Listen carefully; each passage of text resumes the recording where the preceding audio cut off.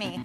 In addition to rigorous academics and challenging athletics, this institution stresses character building through intimidation, humiliation, Come on, don't be such a wimp. and some homoerotic bonding. That was cruel. Yeah, really. We're getting all up in the face of Rockstar's new PS2 title, Bully, right now on Cheat.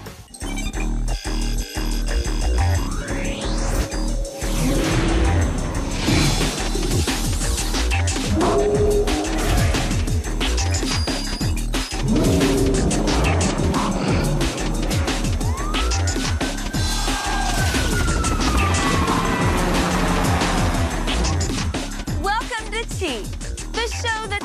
the books out of the hands of video game rules, then pantses them and gives them a swirly. I'm Kristen Holt, and in this episode, we'll explore the dog-eat-dog world of Rockstar's Bully. Let's begin our tour of Bullworth Academy with a little orientation lecture.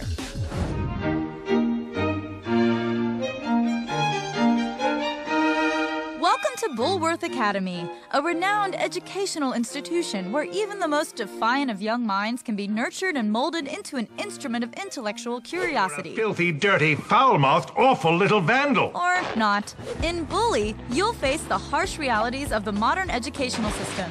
It's wedgie or be wedgied in these trenches.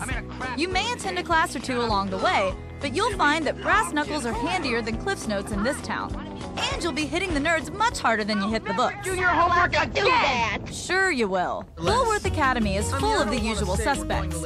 You'll meet a cast of social miscreants cribbed straight from the notebooks of John Hughes.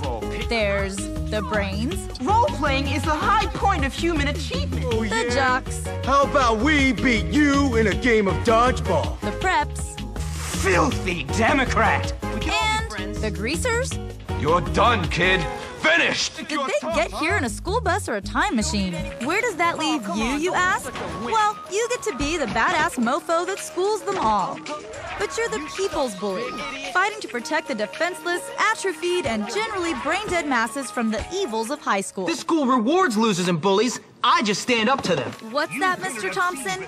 You're right. All bullies should come with a nougat center as soft and creamy as Jimmy Hopkins. Passing missions and classes is fun, but it's the interactions with the people of Bullworth that make Bully so much fun. Hopkins may say he's here to learn, but let's face it, Jimmy's all about the booty. After you pass your first English class, you'll gain the ability to exchange gifts for sexual favors. Uh, I mean, earn kisses with presents. Flowers and candy are the kiss currency in this world, where love can still be bought with simple carbohydrates. Here's a guide to getting it on at Bullworth Academy. Approach a girl and target her with the L1 button. This will bring up the compliment option. After you lavish her with attention, the X button will change to a picture of flowers or candy. Your ticket to a smooch. If the little lady likes your gift, and she will, she'll allow you to plant one on her. If it were only this easy in real life. I can't wait to graduate so I can do that all the time. If you don't feel like spending money for a game of tongue twister, you can grab an unlimited number of flowers for free in front of the girls' dorm. Later in the game, kissing will give you a health bonus. A whole lot more wholesome than copping a feel off a streetwalker in the backseat of your Camaro, huh? Bi curiosity is pretty much a requirement for graduation these days, so why not get some extra credit in early with this dreamy Aryan? I want to spend time with you, but not if you're cheap about it. Woo Blondie the same way you would any other girl, and you'll be slipping in a little slap and tickle in no time. I'm such a player. Aw, young love. But school isn't just one big love-in. You can also scare the uniforms off your fellow students. Mastering the art of the wedgie is the first step on the road to bully overlord. To do this, sneak up slowly behind an unsuspecting victim and yank away when the undie symbol pops up. Why does it always have to be me? Because as fun as making out can be, there's no greater satisfaction than the gift of the man thong. What gives you the right to do that to me? Let's let young Jimmy sleep for now. He has a full day of classes ahead of him after the commercial break. And as for you, here's a quick intimidation cheat. Wouldn't be nearly as fun without the ability to intimidate and humiliate. Intimidating would-be ruffians with the thumbs down sign will send them running for the hills. When the circle button turns into a red fist, all signs are go for humiliating. And boy, is it fun. I don't know You're what hitting yourself again. If you don't feel like running and hiding in town after a little petty vandalism, feel free to try and sweet talk your way out of doing time. Though this might just land you in Sing Sing. I'm the man.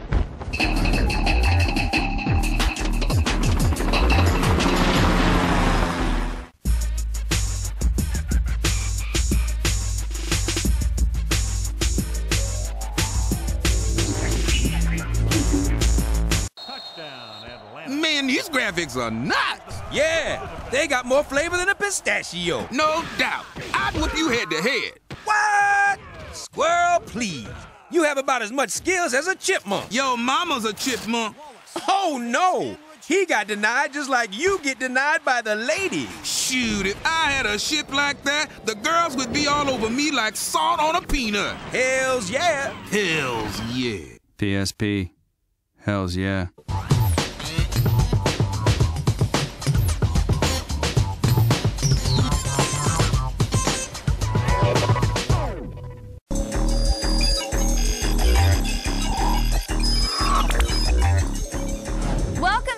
Cheats All Bully Edition. Now, like it or not, life isn't all assault and petty vandalism. You eventually have to attend classes at some point here at Bullworth Academy. Here's how to make the experience as painless as possible. Without class, school would just be one long nightmare of self-esteem crushing. Learning about the history of Botswana or the area under a curve may seem useless, but without it, what rest would we have from the constant torture of the high school social hierarchy? You're dead, new kid! At Bullworth Academy, classes are opportunities to escape the pressures of being a click kingpin, and they come in the form of fun, bite-sized mini-games. Uh, don't be such a wimp. Classes run on a three-day repetitive schedule, so if you don't pass one the first time, it'll come around again. Here's our cliff notes to academic triumph. Watch it, wuss. In art class, you draw boxes in an effort to reclaim a certain percentage of the canvas from the darkness of artist block. Avoid crossing paths with enemies like erasers and scissors and enclose them in boxes to eliminate them. Passing art will allow you to exchange gifts for kisses, and the more classes you pass, the higher your health bonus will be for a successful makeout session. Who said straight A nerds can't snag the ladies? Did you see that? Chemistry is a pretty standard rhythm-based game. Make sure you study up on your controller buttons for this one. Press the correct buttons with the right timing, and you'll titrate with ease. Good work. You get three chances each class, and the buttons don't change. So jot them down if you fail one. James, keep your mind on. You'll get a chemistry set for passing, which can be used to make firecrackers, stink bombs, and itching powder. Shop is similar, but requires button mashing and analog stick rotating instead of simple timed pushes. Oh, you screwed up there, son. Beating each successive shop unlocks improved BMX bikes. English is Bully's version of the addictive casual game text twist. Finding as many words as possible from a jumble in a limited time frame might seem difficult, but some real cheating makes it a breeze.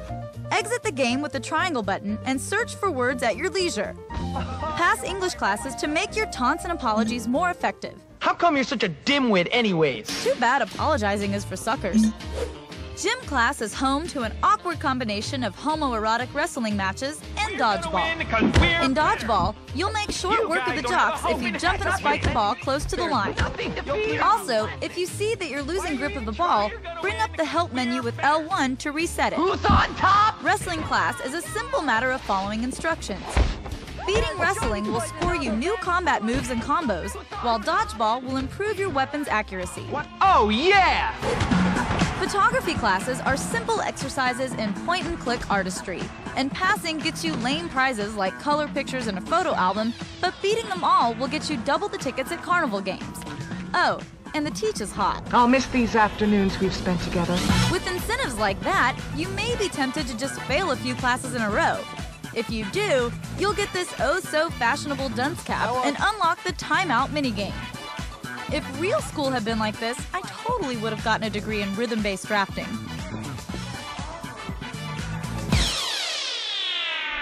This order of cheat is available to go. Just visit g4tv.com slash podcast. We'll face bullies level bosses after the break, but first, here's a quick cheat to earn some extra cash. There's plenty of opportunity to make some dough at Bullworth.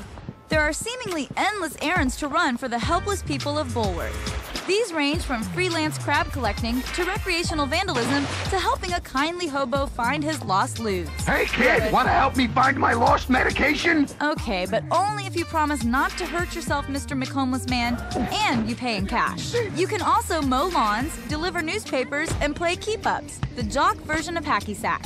Also, don't forget to bet on the midget wrestlers, both entertaining and lucrative.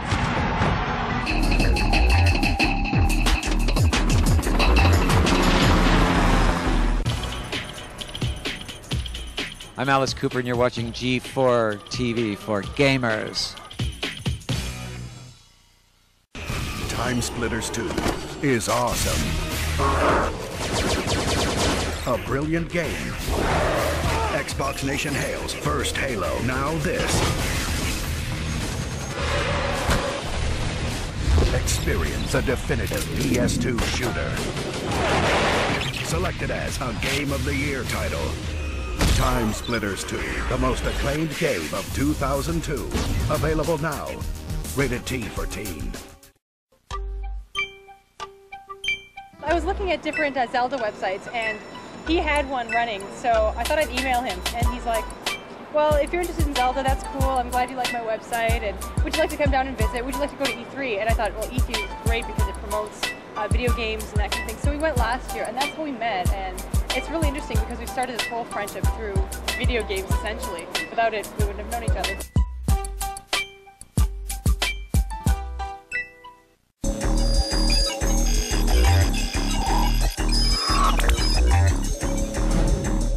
Welcome back to Cheats All Bully Edition. So far, you've seen Jimmy Hopkins hold his own against townies, teachers, and fellow students. But how does he stand up to a whole clique?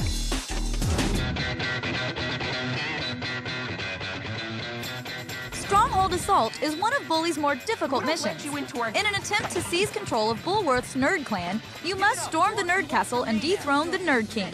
This guy may make it look easy. Pea stain! But it's actually quite a challenge. With a few simple tricks, however, you'll have those nerds mining World of Warcraft gold for you in no time.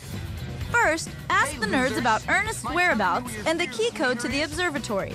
And when I say ask, I mean pummel the information out of them. After you beat the pocket protectors off these kids, it's time to run the Nerd Gauntlet.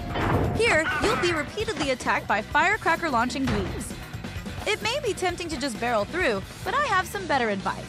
Your slingshot has longer range than their launchers, and you can take each nerd out from a safe distance. All it takes are two fully charged wrist rockets. Down the nerds on your way to the observatory, and you can fuel up on the pop they drop. Things get a bit trickier once you get to the Nerd King and his automatic potato gun. You have two options here. Work your way beneath the gate by strategically hiding behind the pillars, or take the easy way out and station yourself behind the wall of the canyon. You'll be out of the range of the gun in both of these spots, and you can take your sweet time to target and destroy the Transformer. Once the Transformer bites the dust, the nerds will retreat into Nerd Castle. This is your chance to jump on the potato cannon and wail on the doors. Nerds will pop up to shoot you from windows, but it's okay to ignore them and concentrate on the doors. If you lose too much health, hop back to ground level for some soda. Keep shooting until the gates fall. Inside, you'll discover the terrible secret of the observatory. Ernest, the nerd leader. My brains against your brawn. Welcome to hell, Jimmy Hopkins. Ernest launches a three-part attack. First, he'll shoot you with the spud cannon. Hide behind the pillar on the front right side and destroy the two panels next to him with three shots from the slingshot. Next, he'll rain explosives on you. Go to the outer left side of the arena to escape the blast radius and pick off the second panel without getting shrapnel lodged in your side. Lastly, he'll return to the spud cannon. This time, you can stand behind the farthest pillar to the right for a clear shot. Keep plugging away. Ernest will fall eventually. To the Conqueror, go to the spoils, and you'll be rocking the kick-ass spud gun for the rest of the game. What better way to overthrow an anachronistic greaser gang than to fight your way through a good old-fashioned rumble? The rumble begins in New Coventry, where Lola lets on that she knows Jimmy Hopkins' secret. I'm Helen of Troy, and you're more interested in boys called Troy. Gangsters like Jimmy may not respond well to blackmail, but he'll have to satisfy this girl to continue on the road to complete bully domination. Start off by chasing Peanut into an alley. Sporting the name of a delicious snack might seem like a sign of weakness, but Peanut and his boys are actually pretty tough. You can conserve life by using ranged attacks and staying out of reach of their beefy fists. Beating Peanut and his accomplices activates a fairly simple chase sequence. Just keep mashing the X button. Things get a bit stickier in the greaser arena. Ignore Johnny and move around the perimeter of the ring, targeting each of the six snipers with your slingshot. It only takes a shot or two before they fall. Move continuously, or Johnny will be able to swipe at you from his bike and take a chunk of your health. If you get hit a few too many times, destroy a box on the periphery for some health. When all of the snipers are taken care of, Loyal Petey will run to the magnet and take care of Johnny's ride and lead pipe. Now it's just you, Johnny, and some good old fashioned mano a mano. Use the usual combos to finish him off and humiliate him. I give up. You can have her. Congratulations! You've successfully thwarted suspicions and made the Greaser King your slave. Now, only the jocks stand in the way of complete domination. What? You don't want her? Then why did you do this? Gee, a closet case who fights dirty? I think young Jimmy Hopkins is Ivy League material. We'll hit the road with Bully's various vehicles after the break, but first, food fight! It may seem like the clock is a harsh mistress, but Bully actually gives you plenty of opportunity to just wreak havoc. You can pick lockers and tag to your heart's content.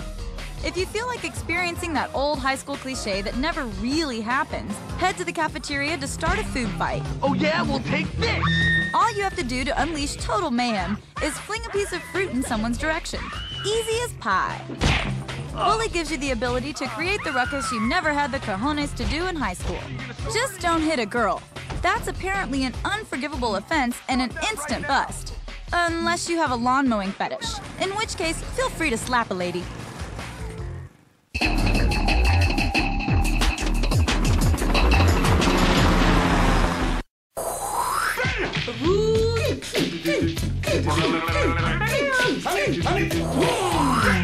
Body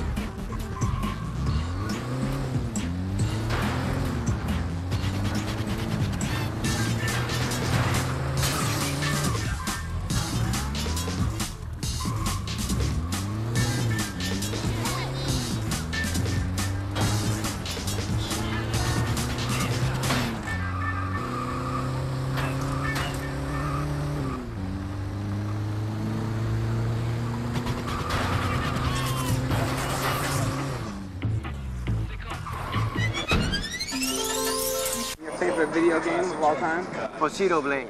Whooshing! Favorite, and you got a favorite video game character of all time? Super Metroid, man. When she dies, you can see her butt naked.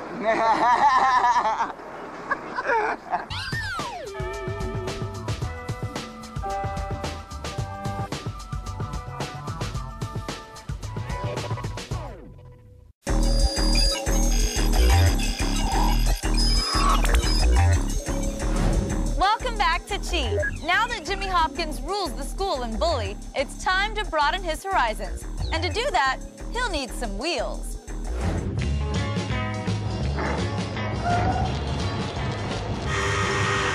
The most efficient form of transportation at Bullworth Academy is the school bus. But to get around in style, you're gonna need something a little more pimp than that, like a Vespa. Bully's condensed GTA universe is refreshing and quaint, but what kind of bully are you if you can't jack cars? Controls for the skateboard are unruly at best, and you'll waste a lot of time rolling around town tripping on stairs. The bike is only a slightly better alternative. To get the best BMX, you'll have to do the degrading work of actually attending class. And we all know what happens to teachers' pets. That was so cruel. Luckily, there are a few alternatives with actual motors in the Bully universe. First off, head to the local carnival. Carney games are for more than just impressing the ladies. Collect 70 tickets to buy the snazzy European scooter from the prize booth. Here's a guide to beating the games with the minimum amount of effort. By far, the easiest of the games is High Striker. This game makes attaining the scooter just a few frenzied button mashing sessions away. Press the X button quickly to reach the bell at the top and win six tickets. Ah, the carny with your baseball skills at Strikeout. Simply wait at the opposite side from where the targets arrive and press X when the target before the catcher scrolls over your marker. The shooting range is a classic game of target practice. Be sure to get the sheriff star that appears halfway through the game to score major points. Splish Splash is as easy as sinking a surly midget. Wait for the marker to move over the red bullseye rather than trying to guide it there yourself. I already had my bath this year. And that's how you earn the ducats you need for that spiffy ride. Forget the old banana boat. Now you can cruise around the Ville with some real style. Visit the Carnival's go kart races for another vehicular option. Defeating the five races unlocks the go kart street heats that can be found around Bullworth. Carefully apply your power slides on tight corners, and you'll win them handily. Place first in the three street races, and you'll unlock the go kart, by far the speediest whip around. Okay, there are more pimpin' rides, but that squat little speed demon beats the school bus any day. Of course, once you get around town, you'll meet some tougher customers than those wimpy high school gangs. Here's how to deal with the off campus bosses. If storming a hobo enclave sounds like a good plan for Saturday night, then you're in luck. The Tenements is another of Bully's thorny missions. Now, you're tasked to retrieve the possessions of the local high maintenance trollop, Lola. I'm a nice girl. I'm nice to everyone. Now, everyone hates me. No kidding. Begin the Great Laundry Quest by entering the tenement window. Once you're in, you'll be assaulted by a few surly greaseballs. Be sure to take them out one at a time as they leave life-refreshing soda behind. Three of Lola's items, the address book, bag, and lipstick, can be I'll easily found among the detritus. You'll have to face Norton, the fearsome mini-boss, to score the last two items. You'll find Norton when you've worked your way up to the third story of the building. What are you doing here? Um, uh, taking out the trash. The key to defeating Norton is keeping your distance. His sledgehammer has a pretty impressive reach and inflicts heavy damage, so it's important to stay clear. Target Norton with the L1 button and circle around him, keeping clear of the trash on the floor. Resist temptation to rush in and punch him when he slumps. He'll recover with plenty of time to take a chunk out of your health. Pelt him with patience and he'll fall sooner or later. Now you can pick up one of the most satisfying tools in the game, the sledgehammer. Unfortunately, you only get to smash tenement walls searching for the rest of Lola's booty. And you Why'd anyone can't take the away? sledgehammer with you. You'll just have to settle for this little ego boost from Lola. Wow, Jimmy, you're so manly. Edgar the Townie isn't the last boss and Bully, but he happens to be the hardest. You'll reach him after a long series of pulling switches, activating gates, and kicking butt with the help of your well-endowed sidekick, Zoe. I don't think I can beat all of them. Hang on, Jimmy. You'll see. Girl, Hey, baby. you are one cool glass of lemonade. Once you've worked your way to Edgar, the real fight begins. Edgar comes equipped with his very own industrial-sized concussion creator, and all you get is a lousy old shield. Block his attacks with L1 and hit him with the shield when he tires. If your shield breaks, you can always grab another one off the wall. Careful though, this can be a tricky move with Edgar on your tail. Wear his help down about a third of the way, and he'll head downstairs. Now you can pick up his forgotten pipe and follow him down. Here's where you bust out this nearly unbeatable series of moves. Press L1 to block with the pipe and wait until Edgar has finished his attack. Then move back a few steps and take some swings at him, quickly returning to a defensive posture. You'll have him writhing on the ground before he even gets in a single lick. Who knew subjugation could be so much fun? You had enough? You want some more? Come on, big guy. And that's it, class dismissed. If you missed any of these tips, visit us on the web at g4tv.com slash cheat. You can also write to us at cheat at g4tv.com. Until next time, I'm Kristen Holt, and you've been cheating.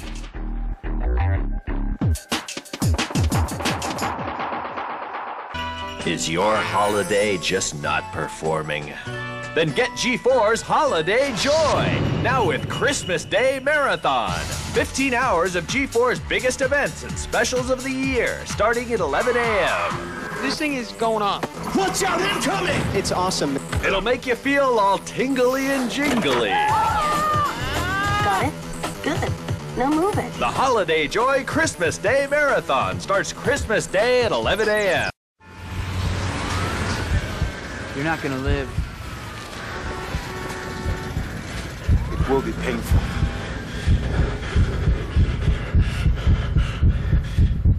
You're doomed.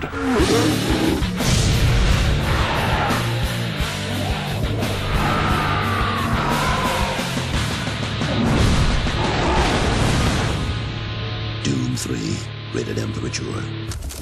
Now on Xbox. She's not really hardcore or anything, but she likes playing them and stuff. I was lucky in that aspect. 'cause, you know, you get a, a girl and then you drop 50 bucks on the game, and she's like, well, how come we not going out? You know, what's this McDonald's garbage you taking me to? You know, and, you sitting there playing, well, I gotta play Metal Gear. And she's like, this is stupid. I'm bored. I want to go somewhere.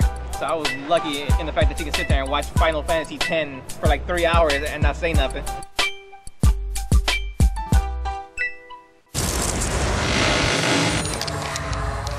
Good to face your fears together. It's good to turn a haunted house into a haunted pile of rubble together. It's good to see what happens when good kids go bad together. Grabbed by the Ghoulies from Rare to make us a Donkey Kong country. Ready to eat for everyone. It's good to play together. Right, Holy, my friend. Here's your goods. Should give those Soul Calibur fighters a right stick. But that sword you're using, pardon my pun, ain't gonna cut it, mate. Toss that dodgy dagger and take hold of this. The wait's over. Soul Calibur 2 finally puts the weapons back in your hands, featuring classic Soul Calibur fighters, new warriors, and over 10 modes of play. And exclusively on the Nintendo GameCube, Link joins the fun. How about off price? Soul Calibur 2, rated T for teen. one.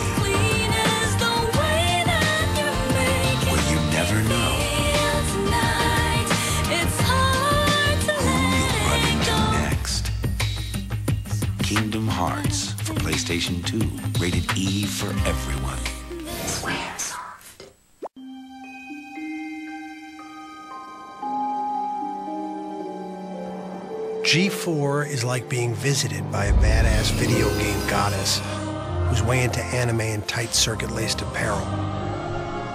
Plus, she has a knack for digging up funny, obscure videos, and she can quote word for word from classics like Old School and The Big Lebowski. Like G4, she is obsessed with high tech gadgetry, out there blogs, and opinionated podcasts. She will take you to the sorts of far off worlds where Master Chief and Transformers rule the landscapes. This energy clad goddess slash sensei of digital goodness is plugged into what's going on, and therefore, my man, so are you. G4 is like that. You know, basically.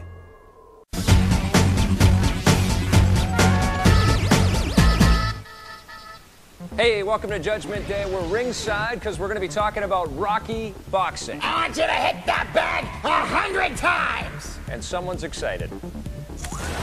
Also on today's episode of Judgment Day is Whacked for the Xbox, ATV Off-Road Fury 2 for the PlayStation 2, The Simpsons Skateboarding, and I get to review Metroid Fusion for the Game Boy Advance.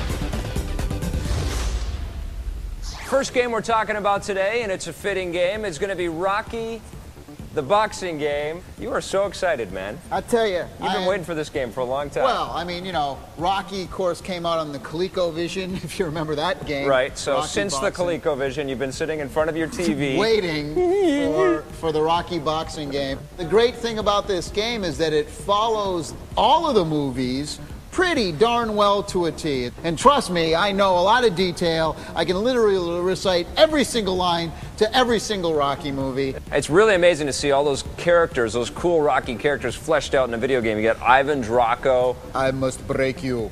You got Clubber Lang. Hmm, I pity the fool. We're going to that. I'm going to get you. That boy, you the best.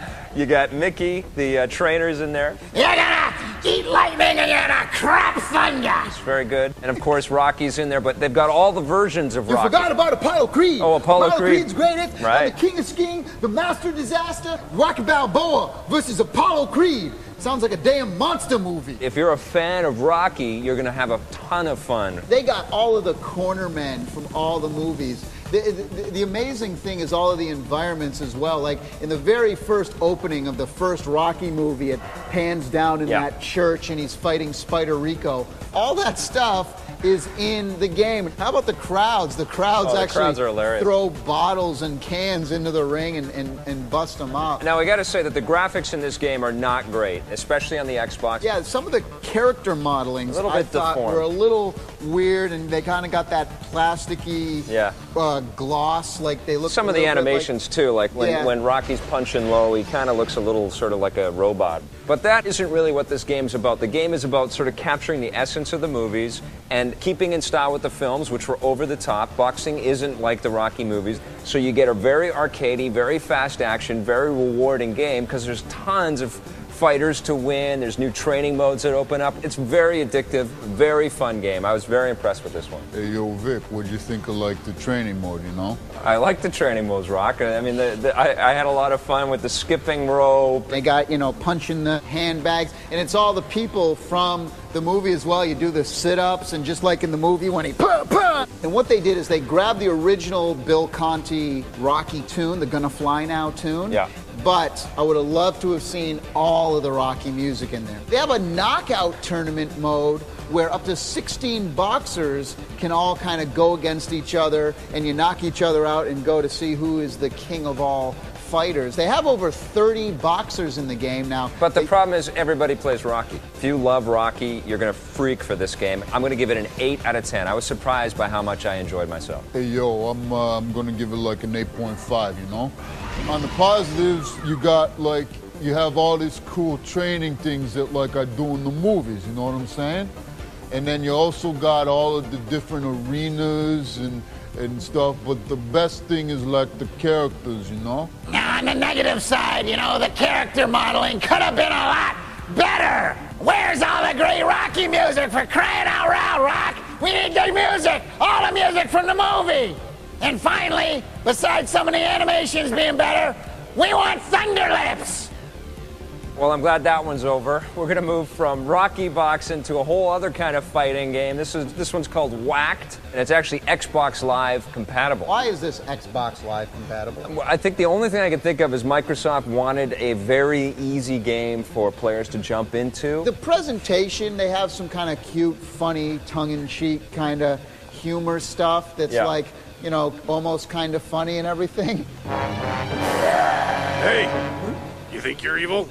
Well, you should try reading some of these books, like Kittens Make Great Jackets, Son of One Part Two, No Mommy, Not the Clown Suit, and Why You'll Be Alone Forever. Well, what they've got, it's, it's set up like a game show. You got this guy named Fantastic, and he's got this ridiculous hairdo, and he comes up and he. He's you know, all hairdo. Yeah, it, they've, they've come up with some pretty they've come up with some pretty funny lines And for him. Yeah, they've come up with some pretty funny lines for the guy, and there's a bunch of other char- crazy cartoon characters. Well, my favorite's Lucy, Right. who is in this really skin tight outfit in the very beginning of the game. Right. And then it just busts out. There's boobies everywhere, and they actually censor the thing with like a bar yeah. throughout the whole game. That's so she plays the game entirely naked, with censor bars. and and that's always fun. I liked Eugene the, the penguin. I think that guy was pretty cool. But the problem is, is that overall this game is just very, very lackluster and, and, and poor. To be honest Well, what it is, it's a, it's a collection of mini games, and you basically you open up curtains and doors, and you walk into different rooms. Basically, all you're doing is running around in 3D, and you're either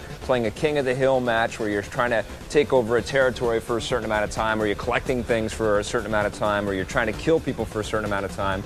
The environments that these challenges take place in are very, very small, and the control for getting around these rooms is ridiculous. It's one of those spin the whole world around type games. You don't have any kind of like physical sort of connection to your character.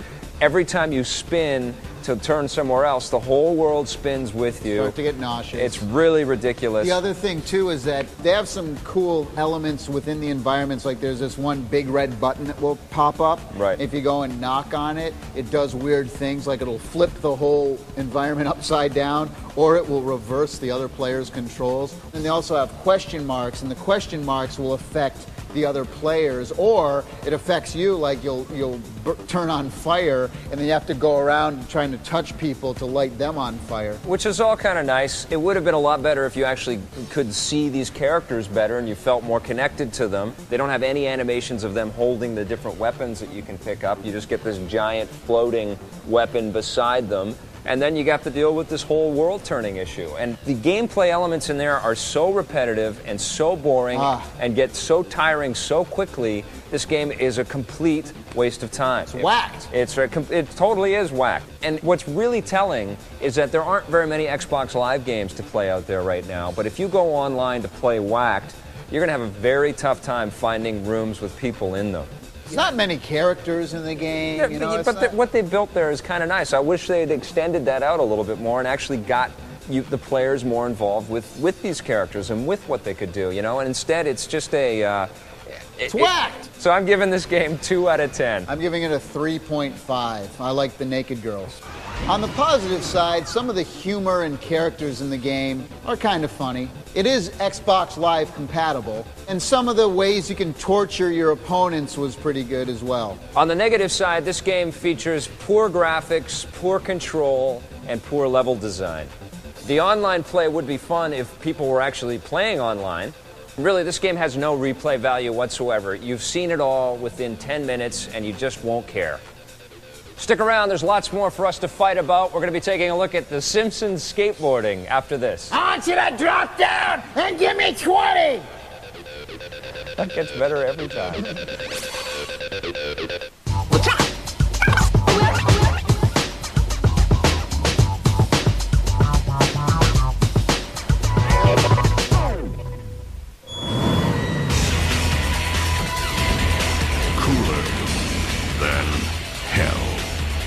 May Cry 2.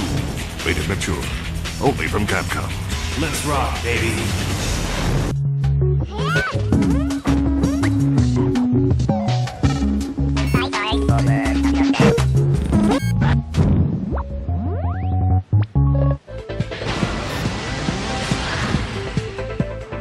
Hey, how's it going? I'm just getting all prepped up for some deep space solar exploration and Metroid Fusion for the Game Boy Advance, which I've got right here. This game is incredible. Nintendo's done it again. This is going back to the good old days of Metroid. It's all side-scrolling fun. There's lots of cool bad guys to take care of. Tons of really awesome boss battles. It's you know, it's the same old kind of gameplay where you you roll up into a ball and you drop all the little bombs. There's lots of little secret areas to find. There's all kinds of cool power-ups that you can pick up along the way. In this game, Samus actually has an opponent that looks exactly like her. Her opponent's got the same kind of abilities as Samus does. It's very tough. She goes around busting down all kinds of tunnels that you can't get back through again. So, like every good Metroid game, you got to find your way through the game, find all the secret areas, find the tunnels, get the power-ups, save your way along the way because there's a lot of game in here. There's lots of stuff to find in Metroid Fusion. But I think one of the best things about this game is that it actually hooks up with Metroid Prime for the GameCube. This is Metroid Heaven. We've been waiting a long time for this game, and Nintendo delivered on all counts. The graphics are awesome, the sound effects are awesome, the music is really cool and spooky and moody. I love all the parallax scrolling. I love the enemies. I love the weapons. This is a great game. 9.5 Metroid Fusion, must buy.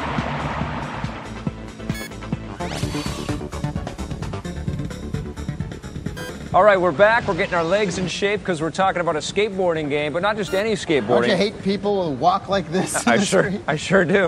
We're talking about the Simpsons skateboarding Oh, yeah, for the PlayStation blew. 2 from EA. You didn't like it? Oh, oh my God! Well, it was from Fox Interactive and EA. Right. Uh, I don't know what happened with this game. Are the Simpsons games cursed? Do you think? Well, the Simpsons. do you think they'll ever make a good one? The Simpsons games are like the Army Men games. They'll never be good. Right. They never were good. Right. And this one is absolutely no exception. Well, you're entering into dangerous territory when you're trying to take on Tony Hawk's Pro Skater. I think you should be. You're, you're barely moving here. I- I'm comfortable. I, I really think. No, you, I, I, you I'm. need some I, of that I'm, going I'm- on that's, there. Okay, now I'm gonna. I'm gonna be out of breath. As far as the engine's concerned, Right. You know, it, there was a lot of load times. The frame rate on the game, everything was so choppy. I mean, hey, this is a skateboard game, so you got to compare it to your Tony Hawk. You do have to compare it to the, and, it all doesn't the other- compare. it doesn't stack up to that. Absolutely I, I was actually close. surprised. I mean, Not this is th- this is pretty gutsy to bring this to market and pit it against games like Tony Hawk. I mean, I Oh. think ah. that's that's come pretty on. crazy because you're going to compare the things,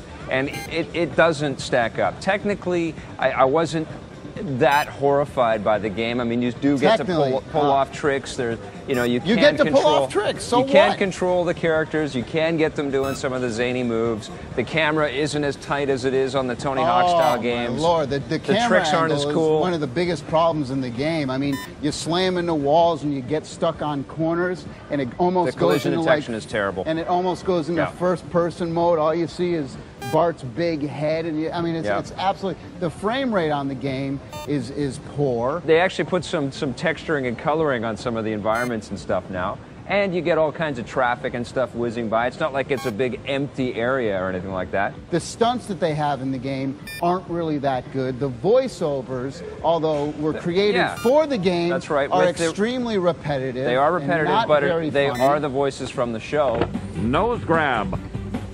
Oh man, Bring in the copter. Nice 50-50 grind. Oh man, that's sand. The idea is kind of cool. That's all right. I think that the idea uh, of having what, the a Simpsons skateboarding on game? skateboards. Well, in, in the same way that having Spider-Man. I think I think you need to be going no, faster. No, no, no. Okay, enough with that. I think it's in the same way that Spider-Man was a playable character in Tony Hawk. This would have been perfect for them to put Bart Simpson into a Tony Hawk game. That's where they should have gone with this. Don't try to take Tony Hawk at his own game if you're not going to come with a good game. It's not even worth our time. Bart Simpson, for the most part, and Lisa, and a lot of these characters are kind of like smaller characters. right. They're not like tall, lanky people that can really grab on. So you really don't get the sense that you're doing all these fancy Pretty- tricks. It's pretty bizarre to watch Marge with her six-foot hairdo doing uh, uh, grabs and, and fakies and all Look, these the and stuff like bottom line is that this game should have never been done. I'm giving it a three. A three out of ten. And that's being nice. I'm going to give it a 3.5. On the positive side, for fans of The Simpsons, the game does feature voiceovers from the actual actors on the show. All the characters are in there, although it's a little bit strange to be skateboarding with Marge. And although this game doesn't come anywhere close to Tony Hawk, the environments are actually quite lively. On the negative side, the frame rate isn't very good. The game isn't fun to play at all. There's long loading times, and the camera angles are not well done. Now, we've talked about 5.1 technology for your PC before with the Altec Lansing speakers. But what you need to do and run something like that is a 5.1 enabled sound card. And what we're taking a look at today is actually a 6.1 sound card from Hercules. It's called the Game Theater XP. It's a regular sound card that slaps in your PC into a PCI slot. Yeah. And then from there, you get this big honking cable that Right. connects to this outboard hub. And you can plug in all kinds of stuff, all Well- kinds of USB stuff.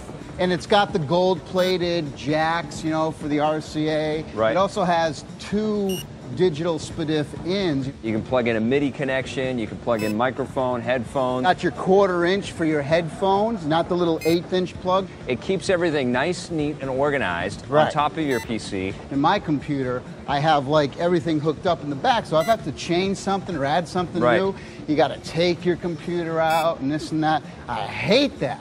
And This- for gamers who are always plugging in controllers and stuff like that, it's a total nightmare. So this thing, it adds all of the 6.1 functionality, and you can actually get 6.1 positional audio. So it's Right. actually seven speakers. It's completely compatible all over the place, and the audio quality is you think we should excellent. speed up a little bit? If I speed up, I can't keep my head straight. Just a little bit. All right, okay. Now, what's the price on this thing? About $120 for the for the whole 120 bucks. package. I totally recommend the Hercules Game Theater XP. I recommend it as well. On the positive side, this device has tons of great inputs and outputs. Besides audio inputs, it also has the powered USB inputs, so you can plug in things like joysticks. And finally, it has a separate unit to connect all this stuff to, so you don't have to get behind your PC every two seconds when you want to change stuff. On the negative side, you're going to have to go and get seven speakers for your PC now. And 120 bucks, although is a good deal for this unit, that's quite a bit of money. We'll be right back with a look at ATV Off-Road Fury 2 for the PlayStation 2. It's pretty good, man. 40 miles an hour.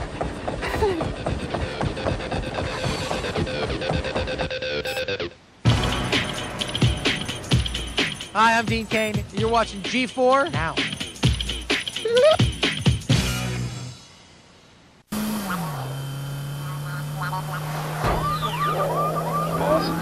Take out those ATSTs. You heard the commander. Let's take care of those ATSTs.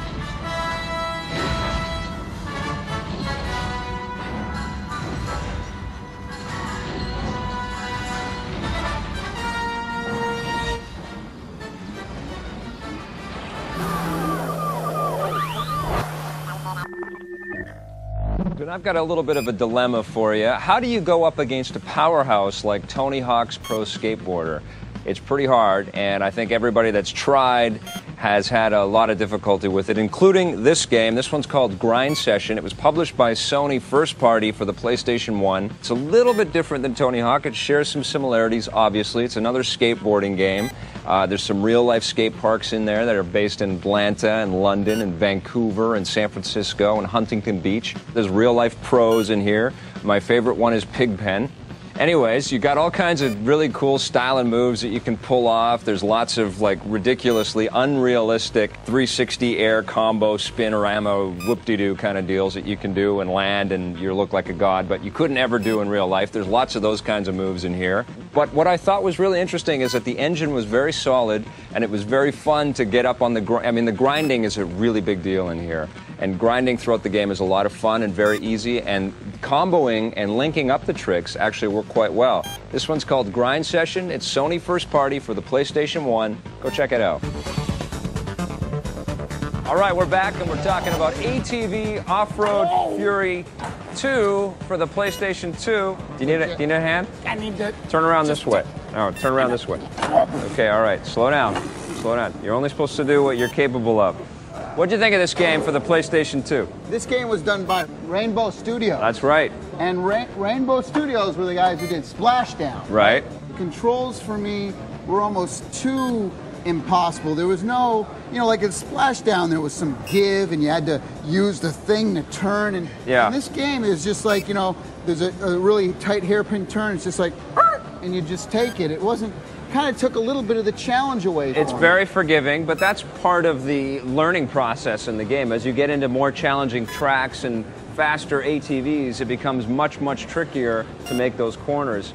I was a big fan of the first ATV. I thought it was a total sleeper hit. It came out of nowhere. Here we have the sequel, and they've improved the graphics. Yes. They've given you more ATVs. They've given you better better riders, more gear, and this thing is playable online. I Yeah, mean, you know, how the- cool is that? Well, the, the thing though is that in the single player game, you know, the, the AI of the, the bikes, you know, they all kind of really, you know, kind of, They are always together Yeah, they and they're cluster. always cluster. And when you pass them, they'll always, you make one little mistake and they pass you. I mean, the trick, Teacher, teacher, would you stop?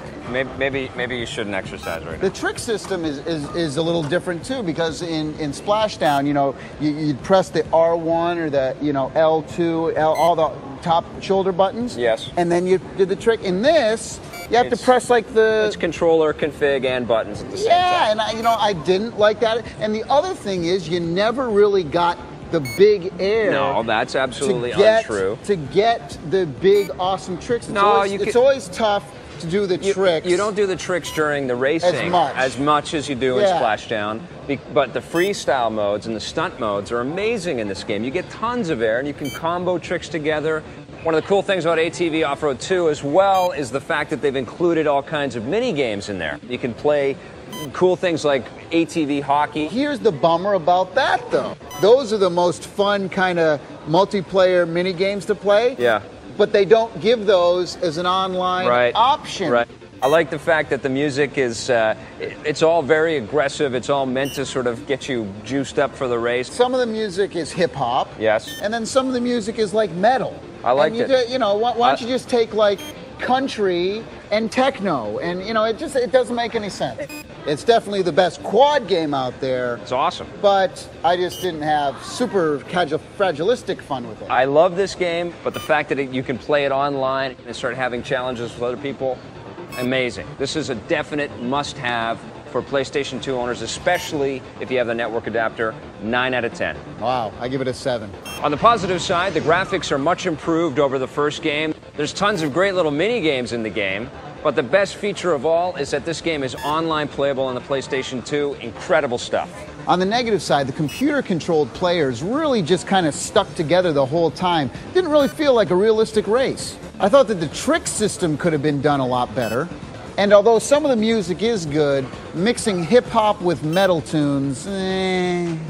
Today on Judgment Day, we took a look at Rocky for the Xbox. Now, it's great that all of the movie Rockies are actually in the game and unlockable, but the character modeling does look a little bit weird in this game. Also on the Xbox and compatible with Xbox Live is Whacked. It's great that this game is playable online. The trouble is, the game's so lame, you're probably going to have a tough time finding anyone else to play with.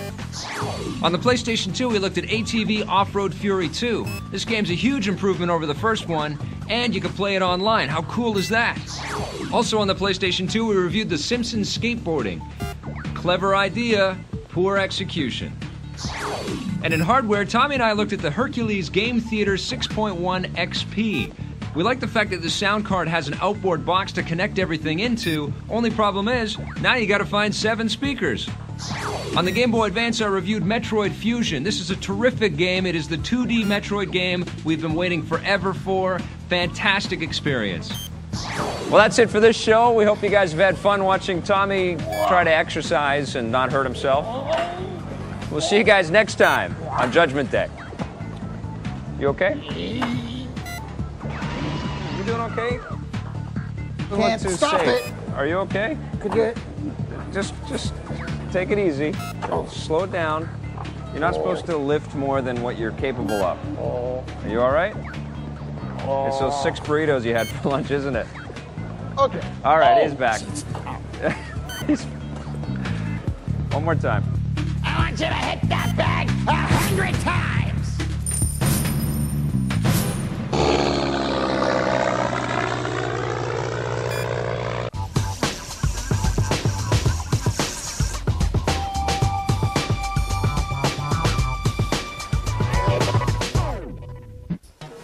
It's up to you to decide who will achieve the Game of the Year award at G-Phoria. The nominees are Metroid Prime, GTA Vice City, Tom Clancy's Splinter Cell, Battlefield 1942, Animal Crossing. Achieve enlightenment. Achieve the glow. G-Phoria, presented by EB Games and Jeep.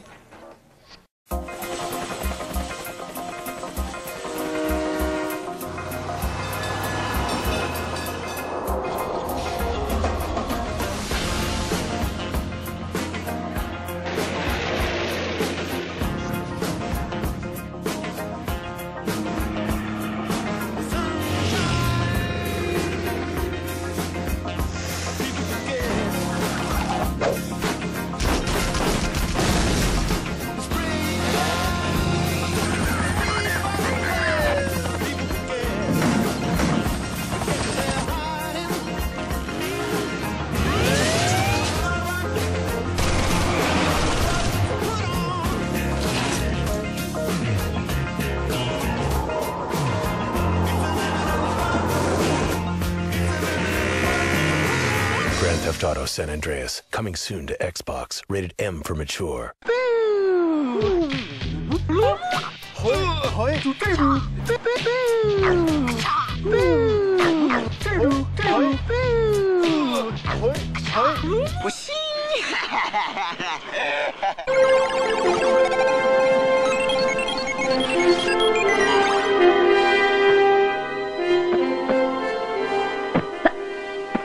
My name is Wolf Morrow, and I'm the world record holder for the fastest time through the Tomb Raider 2 obstacle course.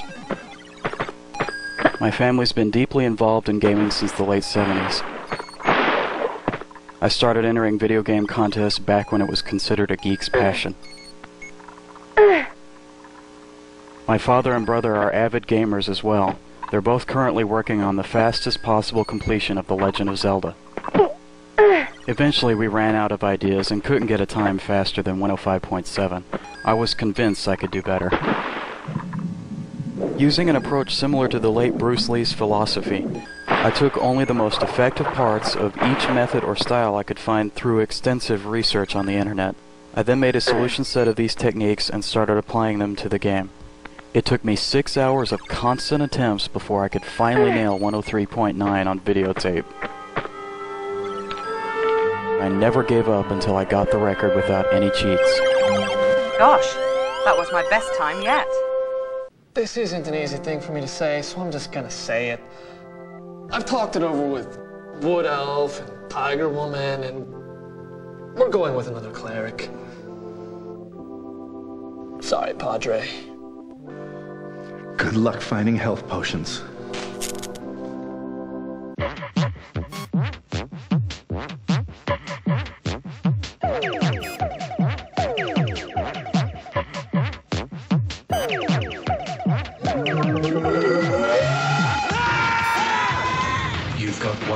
To save Mario from the supernatural.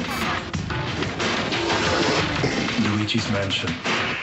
Only for Nintendo GameCube.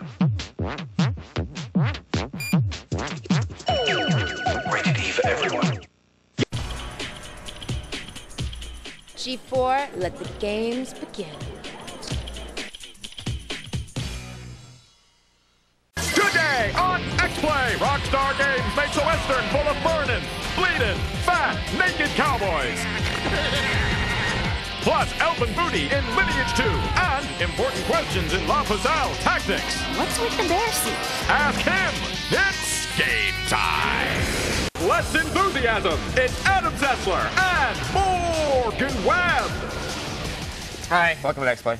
On today's show, the people behind Grand Theft Auto make a Western game because the American frontier had hoes too. It's true. Plus, a strategy RPG where you fight zombies and whales, so it's made expressly for people who hate alternative religious lifestyles and large marine mammals. Republicans. And let's not forget half naked elf women, half naked orc women, and me feeling very uncomfortable about Lineage 2. Plus, free downloadable content, bowling for your PS2, and a very special segment on the unique voices we found on Xbox Live. But we start the show with a look at the latest release from Rockstar Games. Yes, Rockstar is famous for releasing Grand Theft Auto, but they also put out subpar ultra-violent crapola like State of Emergency and Manhunt. So what's the new one like? Find out when we review Red Dead Revolver.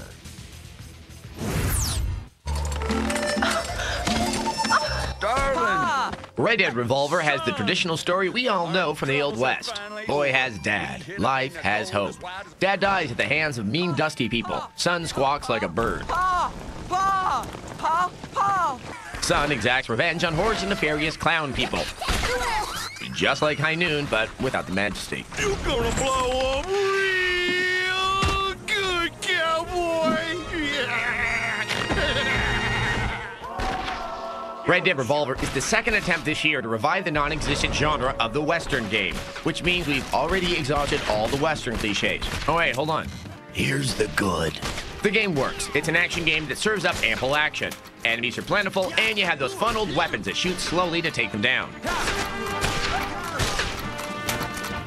And their heads squish like old time melons.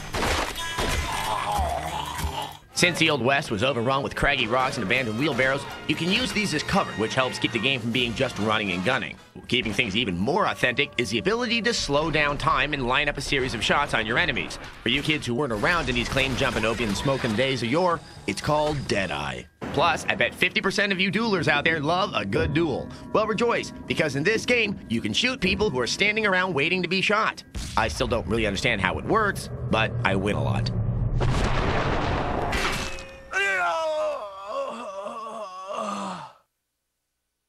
The nicest aspect of Red Dead Revolver is that it throws a lot of different scenarios at you, like shooting in an old place, shooting on a moving train,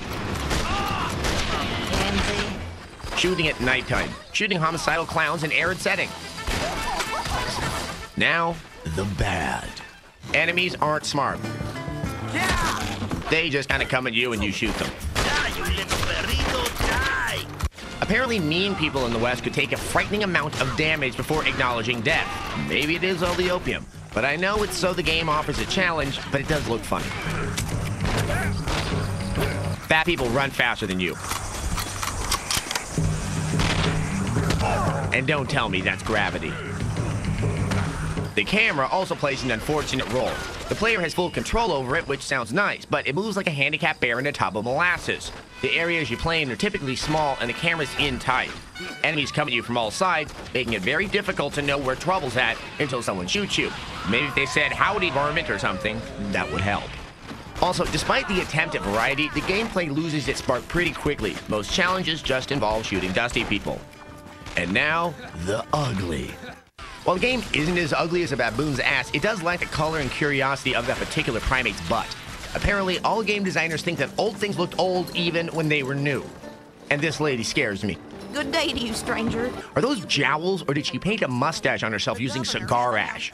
The biggest regret about Red Dead Revolver is that it could have been great. It needed a lot more work, but as it is, it's playable, not enjoyable. A 2 out of 5.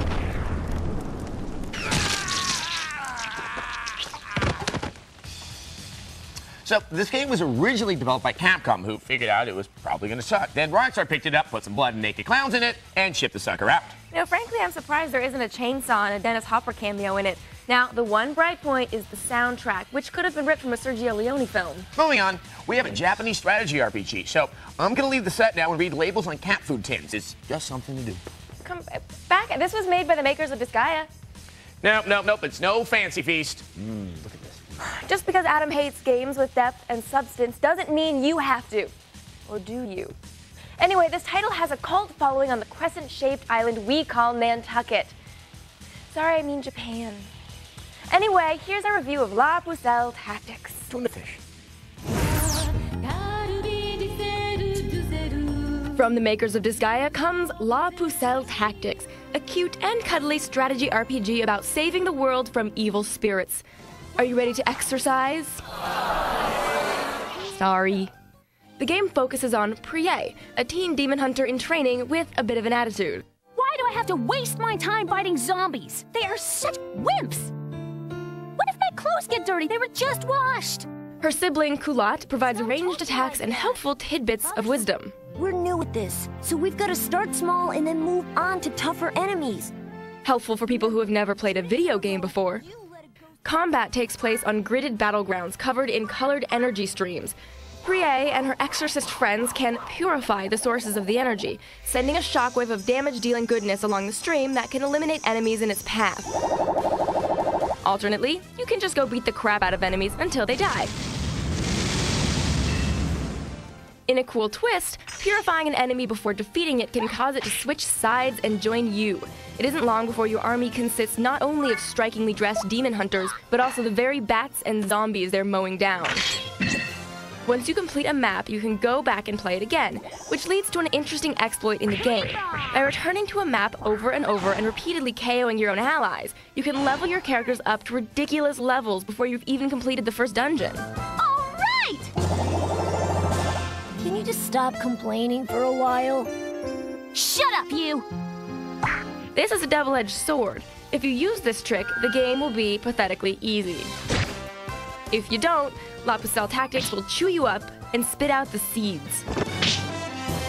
That's because this game is entirely based on numbers and stat levels, to the point that the tactics part can become irrelevant. The real strategy in La Pucelle is in finding the best ways to make your characters insanely powerful, and using the puzzle-like purification system to kill multiple enemies and fuse normal items into monster-terrorizing uber weapons. The game doesn't require this approach, but it certainly favors it. If you're stifling maniacal laughter at this point, this is your kind of game. There's also a decent story mixed in here that ranges from the modeling. We lost our parents seven years ago. They died in a carriage accident coming back from work. To the ridiculous. What's with the bear suit? If you're a stat maxing, power leveling, anime watching RPG fan, congratulations! A target audience is you. If your core isn't quite so hard, you may want to look elsewhere. Can you just stop complaining for a while? We give it a 3 out of 5. You suck! With a name like La Pucelle, you'd think it was a French game. This is when Adam would usually say something kind of funny, probably about baguettes or a joke about Charles de Gaulle that only one person in the audience would get. I bet that one person really misses him right now. For everyone else, after the break, we have Naked Elves. I don't know why you people like that, but you do. Up next, setting the women's movement back 20 years, it's Lineage 2.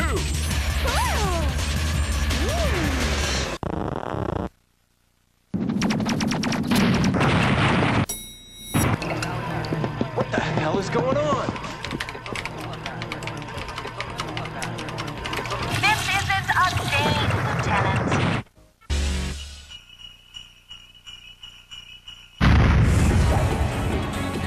Ninja Gaiden will probably be the tightest action video game in terms of control mechanics and depth of control, depth of action. The Ninja Gaiden is definitely the game I'm most excited about for the Xbox this year. I think it's probably the best 3D action game this fall.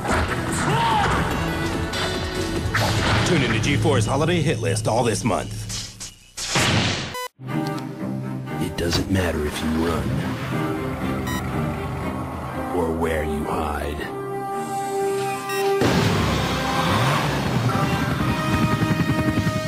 I will hunt you. I will find you.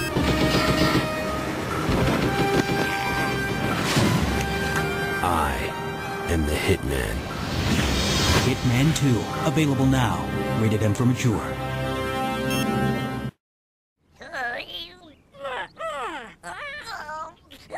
That's it. Lip, lip to the right. Oh. Oops. Stealing your soul since 2003, it's Adam Sessler and Morgan Webb. We keep your souls in a box, along with a couple of preview copies of Halo 2. Yes, welcome back to X Play. Yes, we have a massively multiplayer online game. Yes, it has dark elves. Yes, the elves are pretty much naked. Yes, they made me review it. Here's Lineage 2 for the PC. Ah, Welcome to the beautiful world of the MMORPG Lineage 2. Let's find out who we're gonna be today. I'm into the Dark Elves because they use black magic. Though, those can't be real. They don't even jiggle. They sure are perky. Hmm, they do jiggle more when she runs, but I think it's safe to say they're totally fake. There's some elf surgeon out there doing a good business. Okay, I'm really sick of looking at her butt, so let's try. Ooh, this burly orc woman. I am so tough. People will cower before me. My god, I'm looking at her butt too. I'm not gonna sit here all day and stare at her thong. I have a recommendation for the graphic artists. Stop watching so much porn. I'm gonna play as this dwarf girl. I'm sure she's just an addition for the pedophiles, but at least you can't see her butt. Now, don't get me wrong, the art is so beautiful, but the limited choices for character body type are as annoying as the running style of the elves. But now that I have my cute dwarf lady, I'm gonna set out on my adventure. Ah, I'm stuck in the floor. Get me out of here. Hmm, maybe I'll just run to a flat part. You start out with little tasks, like go get the groceries for the dwarf man. But mainly you'll be killing 27,000 of these poor little innocent raccoons for experience points. It's a little slower when, like my dwarf lady, you don't have magic. You kill one, then you sit down and recover health. Kill one, you sit, you kill one.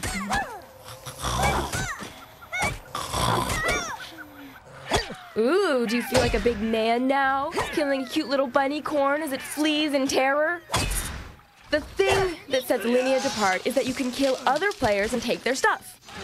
Hey, quit it! I'm just a noob.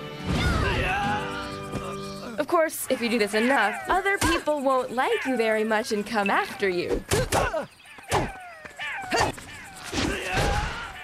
Ha! That's what you get, punk ass. Hey, thanks for saving me, nice man. Hey, hey, don't run away. What are you doing later? Oh yeah, I'm, I'm a guy. If you don't have a psychopathic antisocial bent, Lineage 2 offers the standard MMORPG buffet of activities. But the game is so stingy in handing out cash and experience points that playing feels a little like running up the down escalator. You're going to invest a lot of time before you get to kill anything bigger than you, but I wouldn't know, because I still have about 180 more raccoons to kill. Why don't you guys take off? I'm gonna be here a while. A two out of five. Now, for some reason, MMORPG players really like scantily clad women, especially if they have horns or pointy ears. I don't know what that says about your relationships with your mothers, but you know, hey, that's between you and your mom. And what's between you and your computer, aside from a sneeze guard, are a lot of free downloads, like this one from Neighbors from Hell 2. So while it might be nice to take a vacation, this one's going to be a nightmare. It seems that Mr. Cranky here has a problem. It's his neighbor, Woody. Woody has a reality TV show that revolves around, well, ruining his neighbor's good times. It's a journey of bear traps, soggy hats, electrocutions, and hopefully, high ratings. And who wouldn't want that? Interested parties should point their browsers over to the official Neighbors from Hell website. Here you can meet the assorted characters, peruse illustrations, and along the bottom panel, find a link to download a two-level playable demo. It's the Neighbors from Hell 2 Vacation Downloadable, and it's free to take a peek at. Just be sure Big Olga doesn't catch you looking. Yes, believe it or not, there are tons of free downloads on the internet. And only 90% are porn. I checked. Coming up, because even game designers run out of ideas, it's Strike Force Bowling.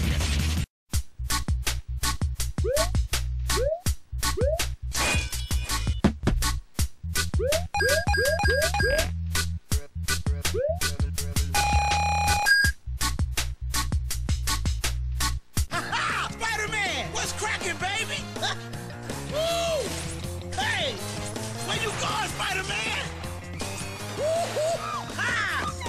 The girl, saving the day. Yeah! Go, Spider-Man! If they're into computer stuff, go to the one place that has it all, like Spider Man the computer game. There's something fun for everyone at Best Buy. Go get him, Spider-Man! Yeah! Hello, I'm Tom Sloper. I designed the games in the Game Time Watch. This is the rare, early yellow button version.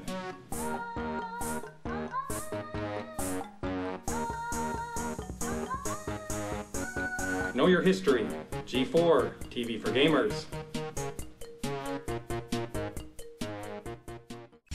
Abandon all hope, ye who enter here. It's Adam Sessler and Morgan Webb.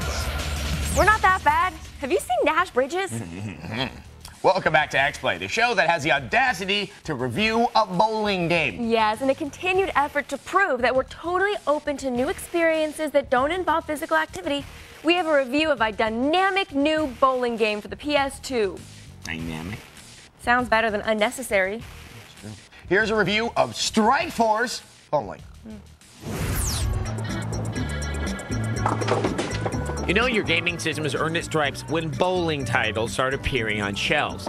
Now, it's not necessarily a precursor to the apocalypse, but rather a positive sign that mainstream sports are being adequately covered to the point where publishers are looking for something new to fill the void. That's a good thing, of course, especially to those patiently holding out for versions of horseshoes, croquet, and badminton. Strikeforce Bowling is a budget release hoping to bowl over PS2 owners while trying to spare gamers from complicated controls and any hint of depth.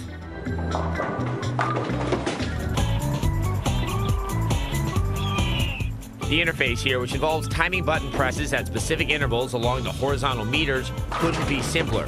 If it were any more basic, it would be hooked on phonics. Players can move their bowler left or right to set the ball's path indicated by a red line, like so. Spin is adjusted by moving a percentage marker up and down, which curiously has no effect on the line showing the ball's direction. After these two adjustments, it's time to bowl, which involves pressing a button twice. The first to set power, and the second to set accuracy. And that's that.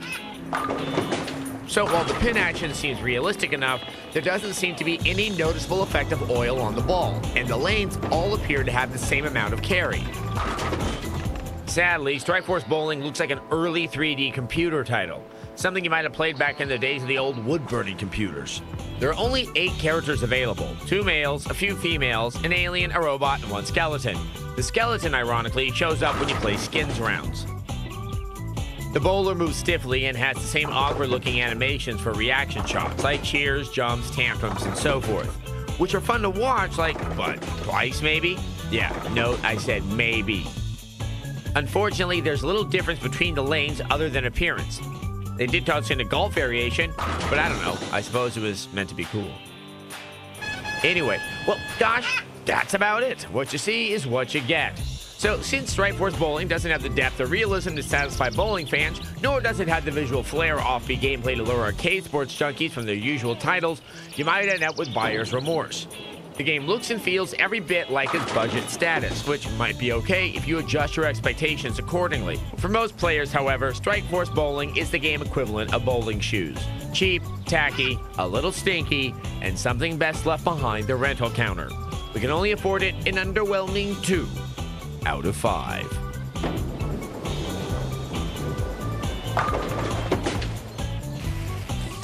Ah, yes, the ancient Egyptian art of bowling. Yeah. And for the pins, they used the sacred jars that contained the organs of their mummified friends. Mm, historical accuracy in games. We have to applaud it when we see it. Just like the scary clowns in Red Dead Revolver. I mean, those guys are how the West was really won. One terrified child at a time. Up next, this Xbox Live user raises the level of discourse. They might try to make love to your car. Wit and wisdom of the fine art of online conversation. It came from Xbox Live.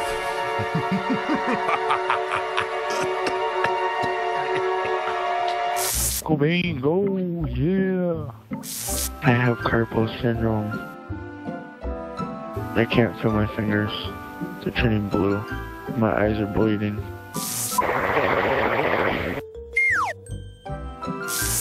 I'm hot. Yes, you are, baby. Oh, Have you might try to make love to your car? I did it once.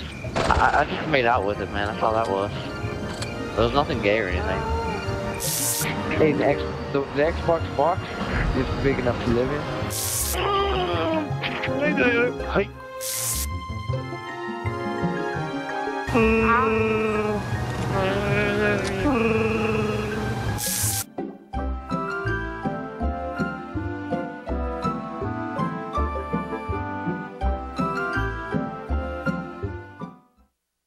You should hear the stuff we couldn't air. No, no, you shouldn't. The fact that there out there somewhere is a man who gives new meaning to the phrase auto erotica is terrifying enough. Yes, please, Xbox Live users, refrain from making love to your Honda Civic. That totally violates the warranty. hmm Now we end tonight with an answer to one of your burning questions. What happened to Corey Haim? That guy was great in the 80s. Actually, this is a technical question about video game design that many of you have asked, and since we aren't exactly programmers, we called in an expert to answer your question about MIP maps.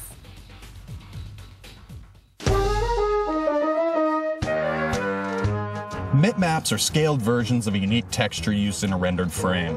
As the distance between the viewpoint and a textured polygon increases, scaled down MIP maps are used to achieve a more realistic effect. Likewise, as the textured polygon's distance decreases with respect to the viewpoint, higher resolution MIP maps are used to increase the detail of a rendered object. MIP is short for the Latin phrase multum in parvo, which means many things in a small place. Oh God!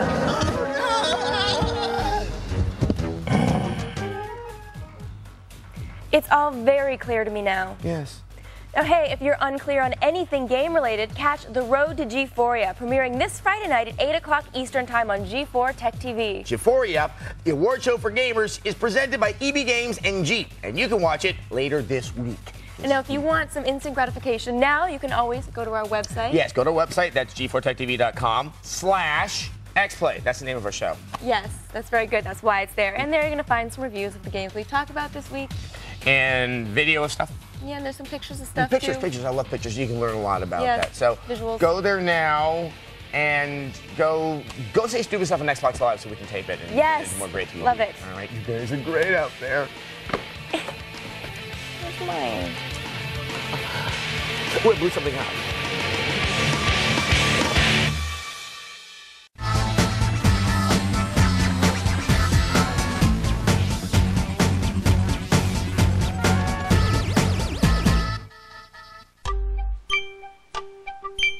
Yeah, my girlfriend gets upset when I'm playing it in the nighttime.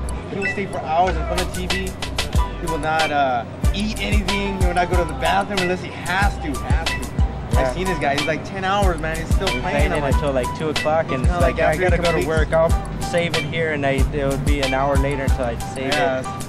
And then Yeah, I wouldn't eat or anything. 3 o'clock in the morning, this guy's still up, man.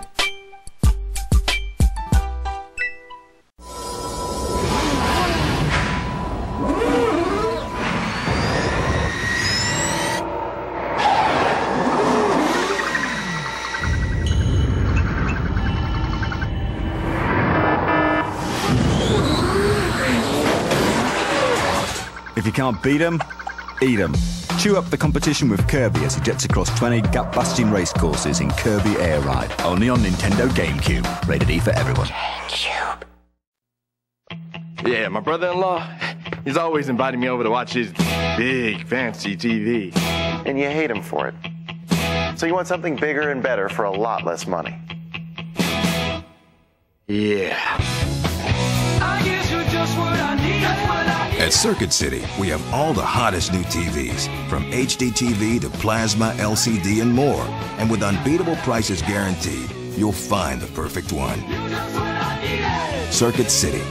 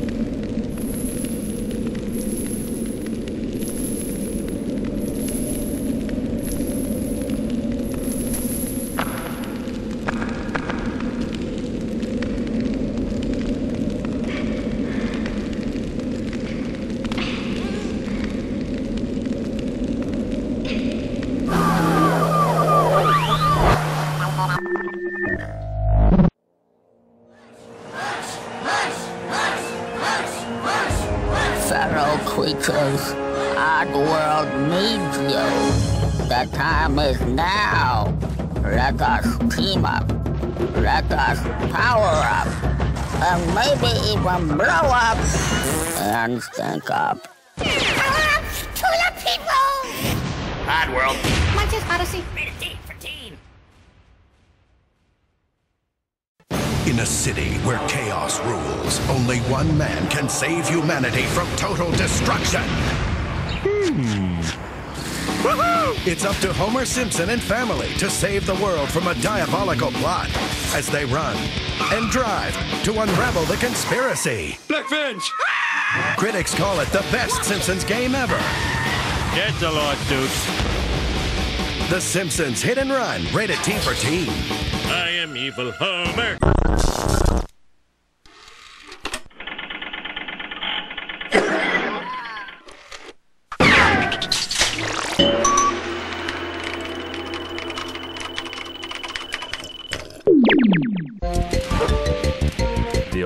Faster than his meteoric rise to fame was his tragic fall from grace.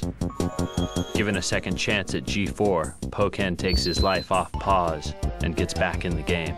Yeah, he definitely has his bad days, you know, like when he forgets to eat and stuff. These young guys could learn a lot from this Pocan. He's a real pro. It was his game experience that really caught my eye. Well, that and the fact that he's Panda Bear. Tonight on X Play, we bring you the best of 2003, honoring such games as The Legend of Zelda The Wind Waker, Ratchet and Clank Going Commando, and The Prince of Persia. Who will win Game of the Year? I bet something will. Strap in! It's Platitude time!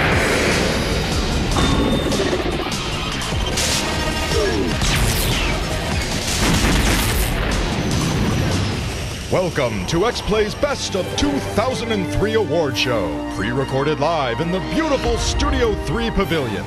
We're honored to introduce your illustrious hosts, Adam Sessler and Morgan Webb. Welcome to X Play. Tonight, we celebrate the best games of 2003 with pomp, circumstance, and awkward pauses. Morgan? Thank you, Adam. Video games, where would we be without them? Probably playing marbles, rolling an iron hoop down the street, or reading. Mm. Now, this year, video games touched our lives, our hearts, and our hands. From breathtaking recreations of the Battle of Normandy to a title that puts the I in Jedi, we've seen that games can take us to places we've never been before. Places that only exist in the developers' imaginations. Places where you can enter a truly rich and immersive world and then kill everything that lives in it. Our selection process was a rigorous one. We debated the merits of each game endlessly, often threatening. Oh. Damn it, Carson, vote for freaking Wind Waker! Sometimes firing coworkers who disagreed with us. Look, vote for Deus Ex or you're fired. No. You're fired! You're all fired! And never was there a more heated debate than the one over the category of the year's best game. Now, the nominees for the best game of the year are. Wait, we'd have to be stupid to announce that award at the beginning of the show. Instead, Adam will start the show by performing a musical tribute to the nominees. Ooh, uh-uh. No. Adam will start the show by performing a musical tribute to the nominees. You're supposed to do a medley or something. Hell no. But but the producer said we needed a musical act. No, no, never mind. Never mind what those community college dropouts past screen as producers said. We love games, we love playing them, and we just want to honor the titles that made us enjoy our jobs even more than we already do. Can, can I go back to reading the prompt for now? Fine, just go on flaunting your literacy. Without any further ado, let's get to our first category Best Fighting Game. And the nominees are Guilty Gear X2, Soul Calibur 2, Virtua Fighter 4 Evolution, Capcom vs. SNK 2 EO. And the winner of the best fighting game is envelope, please. Soul Calibur 2. Those are three little words that translate into hours of fighting joy. The Soul Calibur series has always distinguished itself with its weapons based combat that anyone can get into quickly. Although there's more than enough sweet moves available to the gamer that chooses to spend some time learning their stuff. None of that has changed with version 2, that is now available to any gamer with a modern console. Prettier, better balanced, and it has Link. This is easily the best fighter of 2003. From fighting to shooting, video games have a little violence for everyone. And ever since Wolfenstein 3D was released in 1992, the first person shooter has become a staple of America's video game diet. It's a diet made richer and creamier by the addition of these first person shooters. What the hell did I just read? I have no idea. Let's be honest. The field for best first person shooter wasn't exactly broad this year. I mean, with games like New World Order and Devastation. Devastation. How do we make this decision? Pretty damn easily. In a year where the first person shooter found itself cell shaded, squad based, and massively multiplayable, one title stood heads and helmets above the rest. And the nominees for best first person shooter are Call of Duty, Deus Ex Invisible War, PlanetSide, Tom Clancy's Rainbow Six 3, and the winner of the best first person shooter. Oh, do you want to open it or, or should I? I'm gonna open it. I want to open it. Oh my God! It's Call of Duty. We love you. We really love you. From the moment it starts, you know Call of Duty is different. A first person shooter is designed to immerse you in the action, and Call of Duty does that better than any other game in its class. With brilliant teammate and enemy AI active all around you, Call of Duty manages to place you inside the action. You're one of many rather than the sole focus. The result is one of the most exhausting, exhilarating, and terrifying experiences in gaming. If the first person shooter aims to immerse, then Call of Duty takes you as close to actual battle as anyone should want to be. And now we come to the category of best sports game. Sports. A lot of gamers aren't good at them. But within the confines of a simulated world, even a 400 pound man with limited motor skills can be king of the tennis court, or the gridiron, or the waffle iron. Wait for laughter. Smile. Our nominees for Best Sports Game encompass four vastly different athletic events. Three come to us from powerhouse EA Sports, and one comes courtesy of Microsoft. But they all have an ability to entertain both sports fans and gamers alike. And for the first time in 2003, online play on the consoles has become a major factor in our decision. The nominees for Best Sports Game are NBA Street, Volume 2. Madden NFL 2004. Top Spin. Tiger Woods PGA Tour 2004. And the envelope, please. My turn to open the damn envelope. And the winner for Best Sports Game is Madden NFL 2004. Yes, it comes out every year, but 2003 has been a kind year to the Madden series. The annoying bugs and glitches that have plagued the game have all but disappeared, creating a vision of the gridiron that's as close to the real thing as most of us will ever get. Madden demonstrates a love of the game that's apparent in the depth evident in everything, from the playbook to the unbelievable franchise mode. This is a title that for some never leaves their console from the moment it's popped in. People are fanatical about role playing games, and why shouldn't they be? Well, for one, many are terrible and feature dying parents and cloying Japanese children on quests. They promise that you'll truly inhabit a role and that your actions will have consequences. But they rarely deliver on that promise. Instead, you have to kill rabbits and wolves for 14 hours. This year, however, one RPG broke new ground and lived up to the hype. The nominees for Best RPG are Star Wars Knights of the Old Republic, Golden Sun 2 The Lost Age, Mario and Luigi Superstar Saga, Disgaea Hour of Darkness. and the winner is Star Wars Knights of the Old Republic.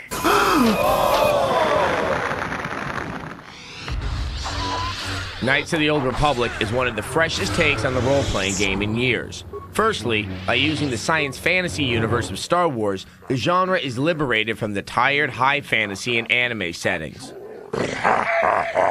More importantly, the game actually lets you play a role.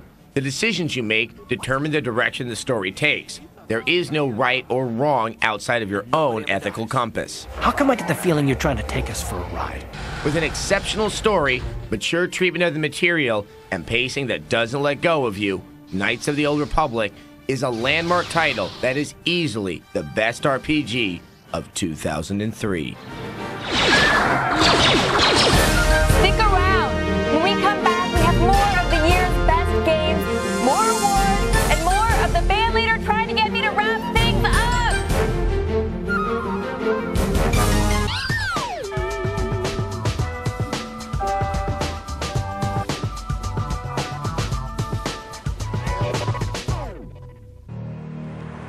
Slay the dragon. About time. Anyone else on? We've got 12 of the team online. Yeah, let's do this.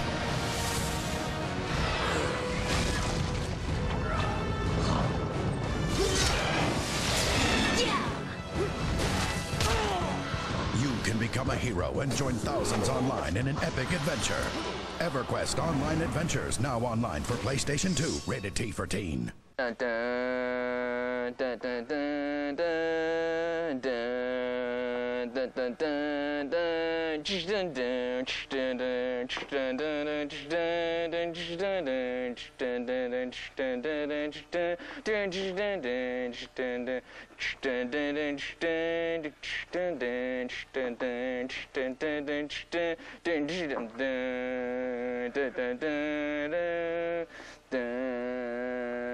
She's one of femme fatale's sexiest women of 2003, and his mom reassures him daily. Here are your glamorous co-hosts, Adam Sessler and Morgan Webb.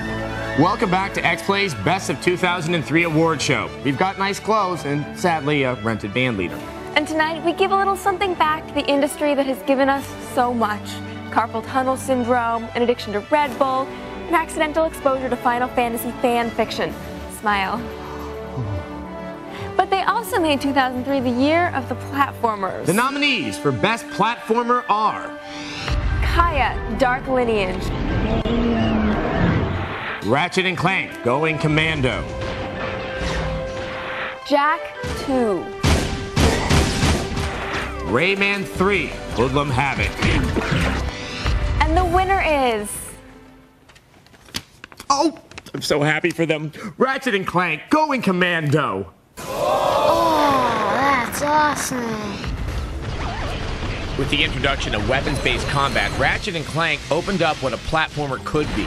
Now, with Going Commando, they taught everyone what it should be. With careful attention to level design and complex enemy AI, developer Insomniac Games have made the first truly sophisticated platformer. A game that requires both planning and timing and has so much variety it could have filled three separate titles. The polish in Going Commando shines so brightly, you start to see the future of a genre in its reflection. And now, the interns. Thanks. It's an honor to be here. They let us out of the cage to present this award, didn't they, Chris? Ad lib? Ad lib. Um, we're here to give the award for Best Racing Game, and before we read the nominees, we wanted to clarify something. They only beat us a little. Wait for laughter. But seriously, we picked up the nominees for this category because in every one of these games, Whether they were trick based or involved cars or spaceships, crossing the finish line was the primary objective. And the nominees for Best Racing Game are SSX 3, Project Gotham Racing 2, Mario Kart Double Dash, F Zero GX, and the winner is Mario Kart Double Dash Exit Stage. Oh,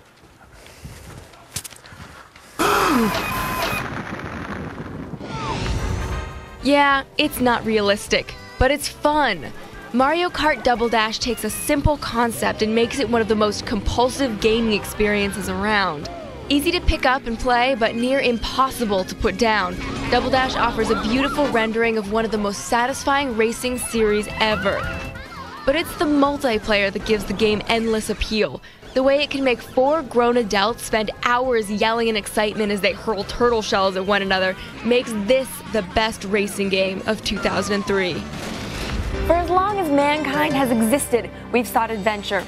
From the caves of primitive man to the. Sound like I'm on the Discovery Channel. Adam? Thanks, Morgan. Mm-hmm. The adventure category combines multiple game styles, combat, puzzle solving, and light RPG elements. This year, the nominees for Best Adventure Game take us from the sands of the Middle East to a creepy carnival, from a mystical quest to a pig with fart powered boots. Yeah, I read that right. The nominees for Best Adventure are Prince of Persia, The Sands of Time. Beyond Good and Evil. Go have a look. The Legend of Zelda, The Wind Waker. Dark Cloud 2. And the winner is The Legend of Zelda, The Wind Waker.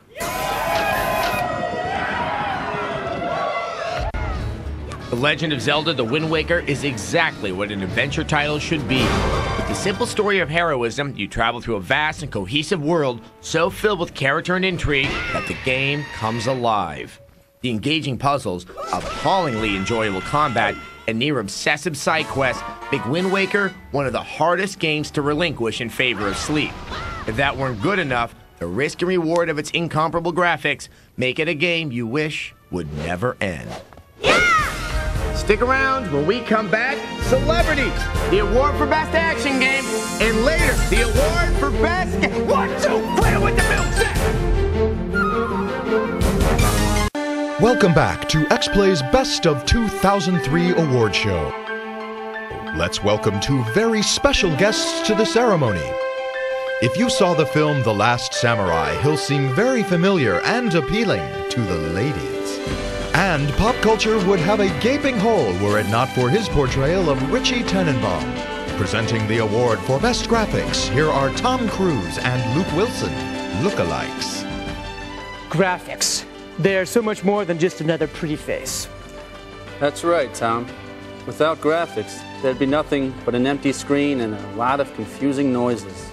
Uh, Luke, this year the staff of X-Play judged graphics based on technical and creative achievements. This year brought us cel-shaded superheroes, mystical worlds, and dragons flying through waterfalls. Dragons flying through waterfalls? You guys are dorks. Shut up. We're getting paid. The nominees for Best Graphics are Beyond Good and Evil. Beautiful Joe, Crimson Skies, High Road to Revenge. Panzer, Dragoon, Orta. And the winner is. Crimson Skies, High Road to Revenge. Can I get my gift back now?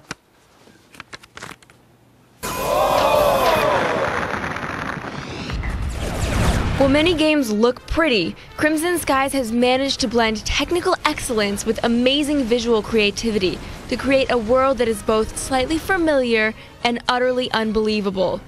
The Goliath buildings, dwarfing natural scenery, and a horizon far in the distance convey a sense of humbling awe while you pilot your aircraft. It's the small and impressive details of the environments and aircraft that drive home all the creative energy in the visuals.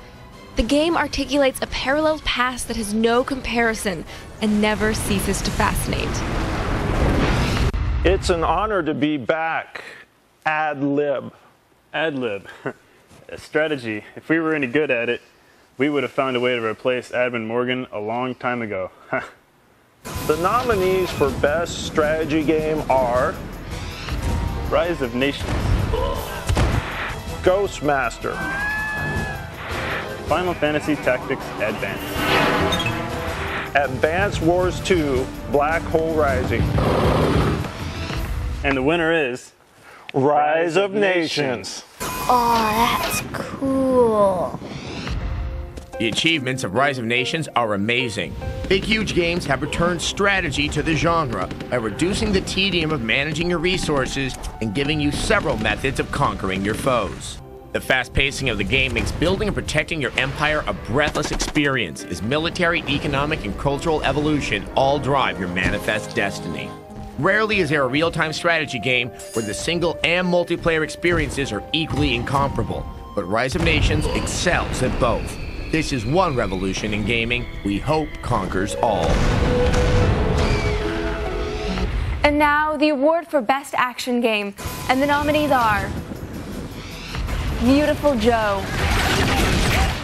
Max Payne 2 The Fall of Max Payne, Panzer Dragoon Orta, Crimson Skies High Road to Revenge. and the winner is the envelope, please. Beautiful Joe. Design and gameplay meet and fall in love with one another in one of the most original games since. well, games. With deceptively simple button mechanics, Capcom has created a game that is easy to pick up and becomes obsessively impossible to give up as you confront each new challenge. Here's the rare title where it's no problem to play the same level for the 14th time, because it's that pleasurable and fun to play. Add to that a screwball attitude and a visual style without any peer, and you've got exactly what gaming's all about imagination and having a damn good time. We're getting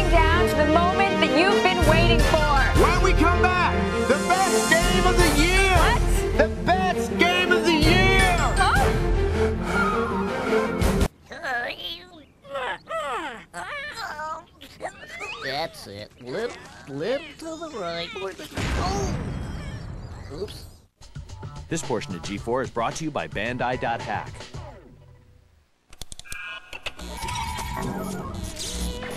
When does fantasy begin? When does reality end? Dot hack. Is it just a game or something far more dangerous?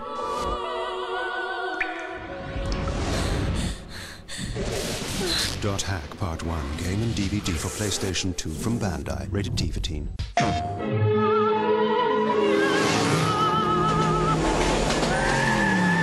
I think my partner's a rat. We gotta shut him up.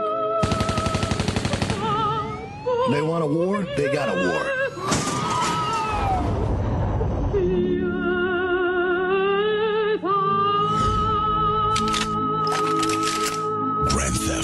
3. Out now for PlayStation 2 and PC. Rated M for mature.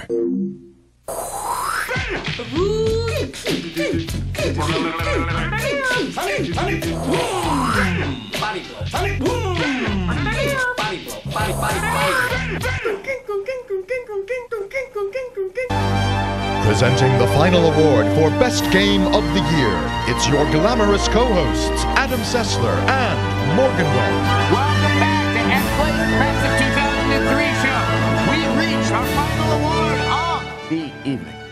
We've seen so much this year that boiling the games down into just five selections for best game was absolutely devastating. Would you? Anyway, every one of these games was an absolute gem. Adam? Thanks, Morgan. Mm-hmm. We really can't say enough about the quality of the final five. The games in this category are all groundbreaking, genre-defining, and worth every penny. From a game where you choose between the dark side and the light to a title that played like a superhero comic come to life, it was a year full of triumphs. After fierce debate, we boiled it down to five, and from five, only one will emerge victorious. So, without further ado, the nominations.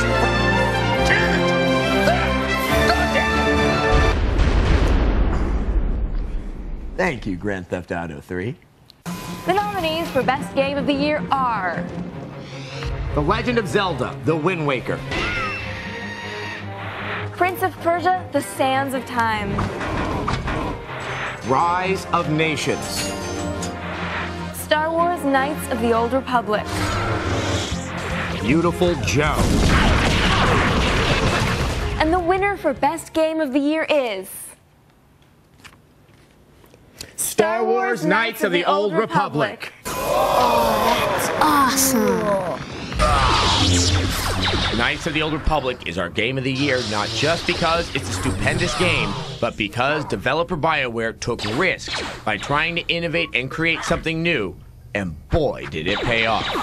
KOTOR is one of those rare games that rewards you for really playing the game. The more you investigate and talk to other characters, the richer and more complex the story becomes. But it's the way in which you, as the player, feel that you're actually having an impact on the story rather than being led by the hand through a fixed narrative that sets this game far apart from its peers. Your actions have real repercussions. As you slip to either the dark or light side, your involvement in the game becomes a creative act in itself. Knights of the Old Republic has set a new high water mark for games, and we're proud to reward it by proclaiming it to be the best game of 2003. It's been a great year full of special gaming memories, and we're glad you shared them with us. Thanks for joining us tonight. If I, Why won't you just die? Die! I'm out of here.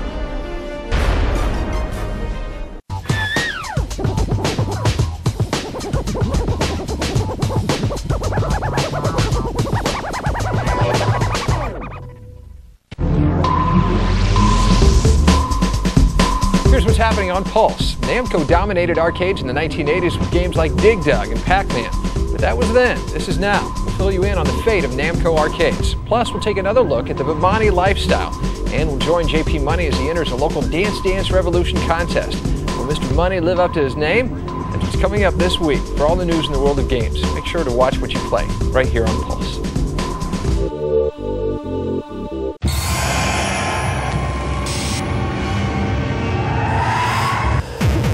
After you. You're the prey in a deadly game. You must do anything to survive. Can you stop the hunt before you are taken down?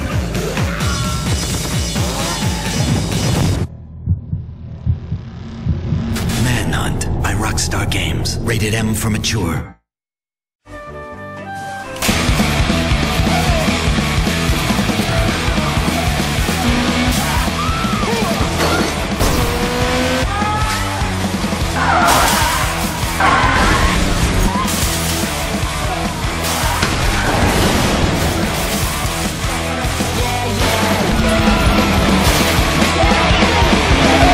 Burnout 3 Takedown. Buckle up. Rated T for teen. EA Games. Challenge Papa's back with a brand new bag of tricks.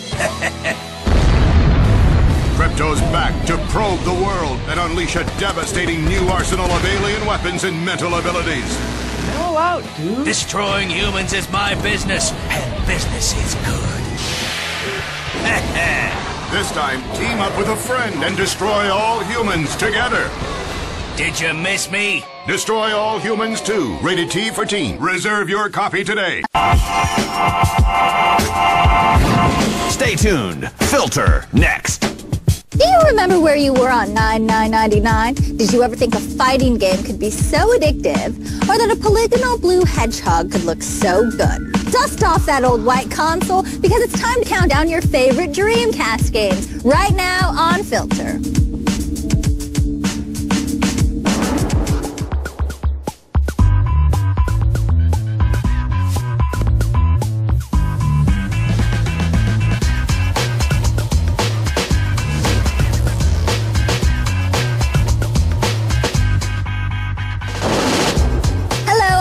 Izod and welcome to Filter. A hand-picked top 10 video game countdown is voted on by you, the viewer, at g4tv.com.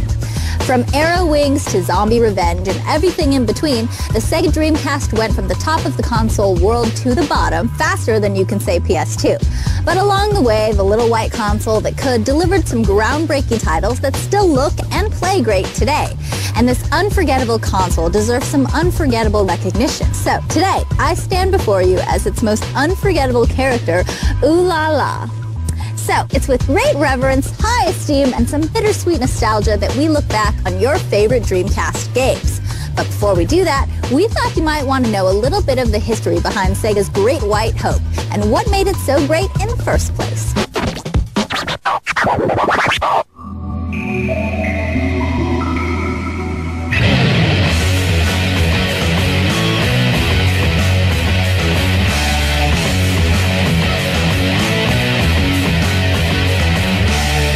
Dreamcast was a Sega console that was put out in the late 90s. I thought the system was going to do really well. I was really excited about its release. It had really good hardware for the time. It was Sega's next big console after the Sega Saturn. The Sega Saturn was a miserable failure for Sega, and they really wanted to get back into the race. So they put out the Dreamcast way before any of these next generation systems came out. Unfortunately, they might have been a little bit too early. It came at a sort of awkward time and right before the release of PlayStation 2. So unfortunately, it didn't build the uh, fan base that it could have. It kind of has a special place in a lot of gamers' hearts because there were a lot of great games for it. A lot of very, I guess you can call them gamers' games.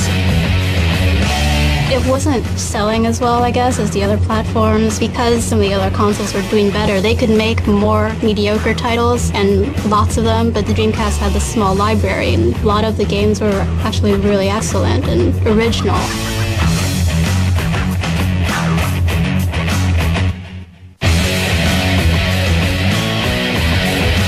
Wish they still made games for the Dreamcast. I don't understand how two years pass and the system still is as powerful as the newer generation systems that are on the market right now, yet nobody's made a game for it in ages.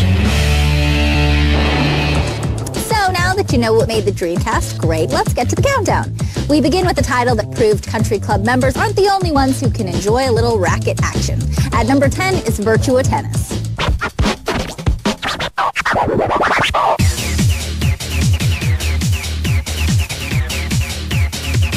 Virtua Tennis is a fantastic game. It's uh, it's basically simplicity defined. You know, it's uh, you just move the joystick, press one button. Um, it's about as simple as tennis is itself, and just as complex. Usually tennis games were kind of limited in terms of movement around the court, but with Virtua Tennis, it's not like a basic Pong type game or a ping pong type game. I mean, it actually required a great degree of skill.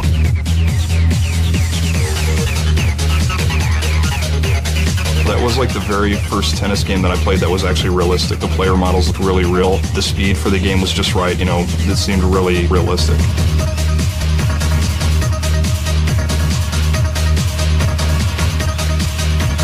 Virtua Tennis is by far the best tennis game I've ever played.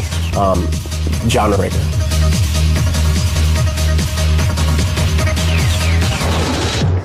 Virtua Tennis helped take you off the couch and onto the court, our next game helped bring the arcade to your living room, which inevitably put your ass right back on the couch. For that faction of the population who enjoys hunting the undead, House of the Dead 2 is for you.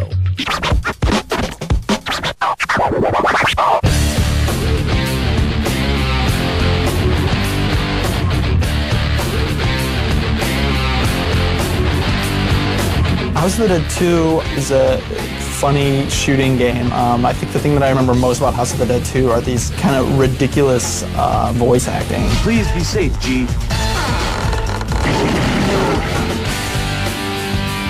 It was a very fast-paced game, but it also had some really uh, amusing dialogue. I don't want to die! The voice acting was terrible, but that made it cool. It made it funny and fun.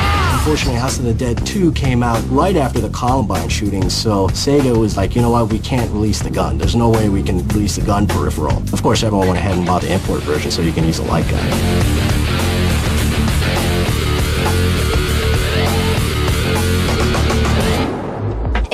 Feel cold steel in your hands, but you also enjoy pummeling enemies with your fists, then you're a prime candidate for our next game.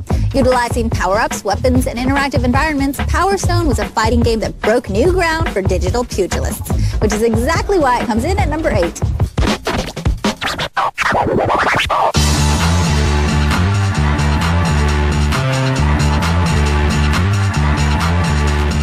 Power Stone is probably my most favorite uh, game from the Dreamcast library. It's, uh, sort of classic Capcom stuff. It's fast, it's fun, it's colorful, it's, uh, it's got lots of character. It was really a nice mix between sort of complex and uh, simplistic gameplay. Power Stone is a cool type of game that's a 3D fighter, but for up to four people, and throwing not just punches and kicks, but also throwing items, and you have to watch out for things in the environment attacking you and all sorts of stuff. It was a crazy fighting game. I mean, you could throw stuff around and throw stuff at each other, you know, even throw each other. And uh, it probably, in many ways, it, it could also be seen as kind of a precursor to Super Smash Bros. So, Power Stone is the first fighter to appear in our list, but I have a strong suspicion that it won't be the last. Anyway, we need to take a break, but when we come back, we'll continue our countdown of your top 10 Dreamcast games of all time, and we'll see what some Dreamcasts have been up to since retiring.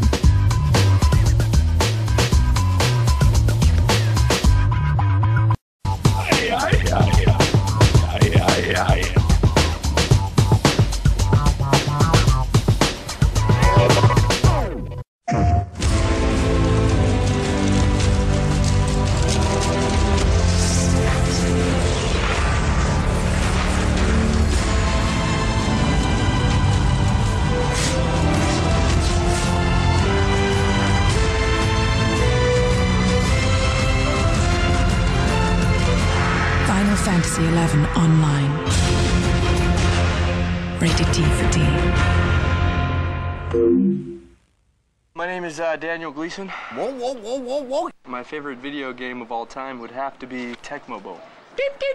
I whipped many a booty in Tecmo Bowl and still will. Hot, hot, hot, hot, hot, hot, hot, hot, hot. That's what I'm talking about. Welcome back to Filter. I'm Diane Mizota, counting down your favorite Dreamcast games. The rankings for Filter shows come directly from the responses you post on the G4 website. To make your vote count, log on to g4tv.com slash filter and select the filter rater. Then choose a category, vote on a scale of 1 to 10, and we'll take care of the rest. While you're there, be sure to post your suggestions for topics and games you'd like to see covered in future episodes. But let's get back to this episode. Coming in at number 7 is an RPG that takes the art of piracy to new heights. Literally. You play a cloud-faring scurvy dog who sets sail in the skies of Arcadia.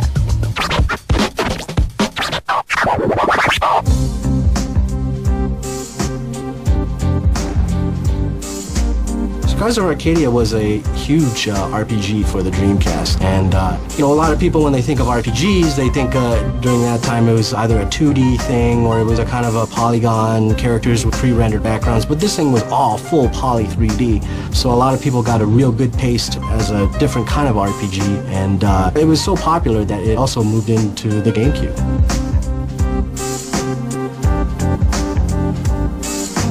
Big Dreamcast RPG that uh, introduced a cast of pirates who are actually good pirates, and you can take your ship around and have these really cool ship-to-ship battles, which is probably the best part about the game.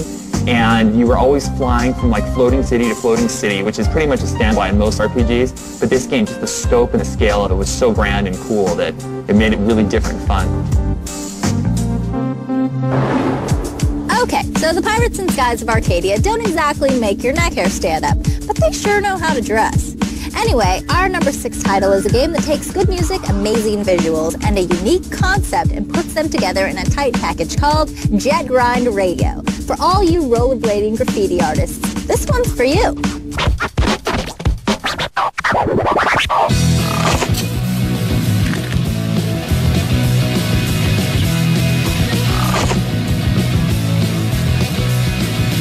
Jet Grind Radio was probably one of the first games that put cel shading onto the map. It, it had a really cool art style. It had a unique combination of gameplay, and that whole graffiti thing and the look of the game really complemented each other. The overall style of the game, from the music to the design of the characters to the plot of, you know, you're this group of kids that's going around um, spraying graffiti all over Tokyo. Definitely had a huge impact uh, on the industry as a whole. For the first time I saw the trailer, I couldn't believe they were making a game based on something like this. You know, when you booted up the game, it had a little warning, you know, please don't do this, or graffiti is art. So, just another thing that Sega kind of did differently compared to the competitors. The Dreamcast made its US debut on September 9, 1999, and showed a lot of promise. But a mere four years later, the system was virtually forgotten thanks to the release of its three next-generation console competitors. So where'd they all go? Um, I still play it. Yeah, so I don't miss it too much. It's sitting in the closet right now, but I still pull it out every once in a while. My Dreamcast, I have actually like four or five of them in a box in my apartment, sitting away, disused, covered in dust, unfortunately. It's hooked up to my TV. I have two Dreamcasts hooked up to the TV, a Japanese one and an American one. I still play it every other day. My Dreamcast is in the basement now. My Dreamcast is in my cabinet next to my television, probably with my Nintendo 64. I don't miss the Dreamcast that much because I still have one plugged in, so I, uh, I still I still visit it once in a while. Actually, I still have it. It's still hooked up in my living room. It's hard being a game reviewer to actually find some time to play older games. We were sleeping one night and a cat came in and took a dump inside my Dreamcast. It avoided all the other consoles, went straight to the Dreamcast. Very sad, really, but uh, there you go. And ever since then, uh, it's never been quite the same. Probably a couple of them will be sold on uh, on eBay. I'll probably just keep one Japanese one and one US one. My Dreamcast is collecting dust in the basement. You know, there's a whole bunch of other stuff down in the basement too, so uh, I'm sure it's got a lot of company. Aren't really the creative answers we were looking for. Personally, I prefer to use my Dreamcast as a blender on margarita night. Okay, we're about to break into the sweetest five presented by Juicy Fruit, so let's get to it. Phantasy Star Online was the first console RPG to take the action online, and it comes in at number five. Check it out.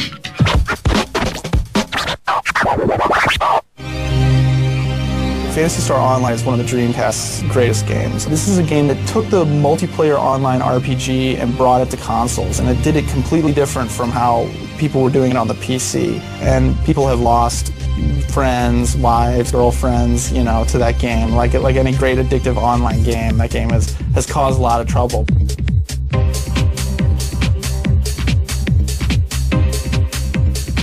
Like just to give you an idea of how addicted I was to this game, the power went out in my apartment. Um, and my apartment had two different separate uh, fuses. The refrigerator and one light was on one, and the entire rest of the apartment was on the other. So the entire rest of the apartment, I lost power.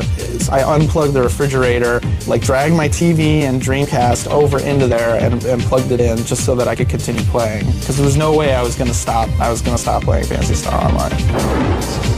While the seminal sitcom from the 70s, Taxi, put a human perspective on cab drivers, it wasn't until Crazy Taxi came to the Dreamcast in 2000 that people realized how much fun being a hack could be. And that's exactly why it comes in at number four.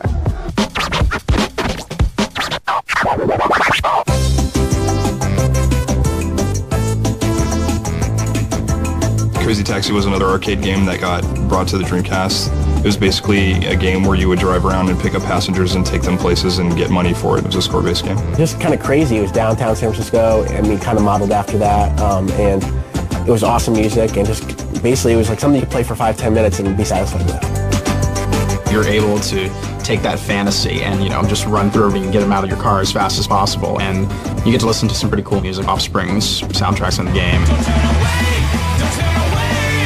Crazy Taxi was probably the best arcade to console transition that I've seen. I mean, it really captured the whole craziness of the arcade game, and they had all these brand stores in there, like Tower Records and like Kentucky Fried Chicken and stuff like that, so it's a crazy game, like the name says. If you're a serious Dreamcaster, then you already have a pretty good idea of what our top three games are. But come on, what's the fun in knowing everything? Stick around because after the break, you may be surprised at which title claimed the number one spot. And we'll also take a look at some of the weirdest Dreamcast games of all time. That'll happen when Filter returns.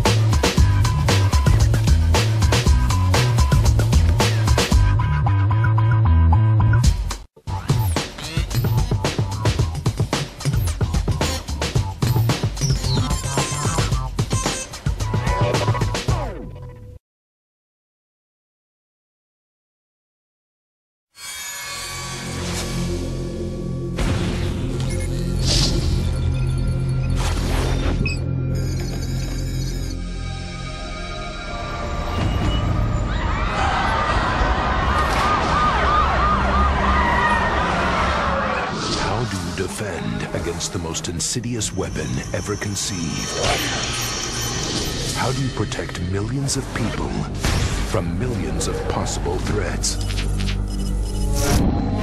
How do you find the source of our greatest fears? Bring the battle closer.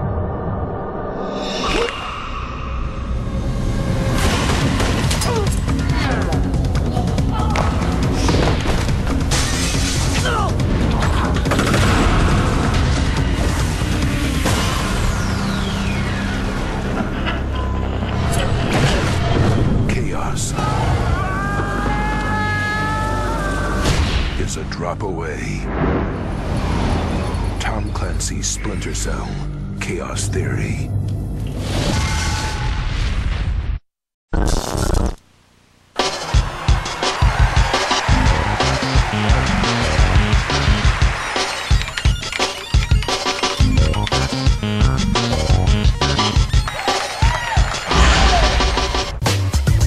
Welcome back to Filter. I'm Diane Mizota, counting down your favorite Dreamcast games of all time. With seven down and three to go, let's review where we've been so far. Virtua Tennis serves up the winner and aces the number 10 spot.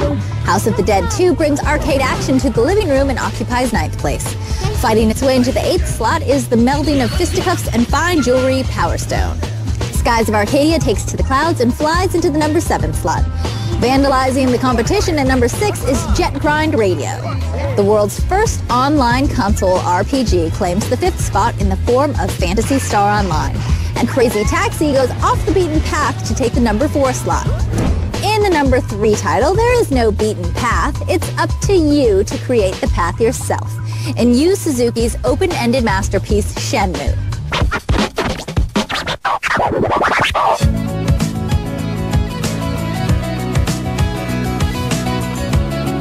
Shenmue is uh, still incredibly controversial game. You either love it or hate it. It was an interesting game. I think it was a little bit like too much like real life. Sometimes the dialogue was a little crazy and you didn't understand because of through the translation. What do you know about the incident? The incident? Yes. What do you know about the incident? You should ask the old lady. Ask the old lady about the incident. The day of the incident. The day of the incident? So it's really stunted, long-winded dialogue where I'm just like hitting the button like, okay, let's go, let's go, let's find the old lady now.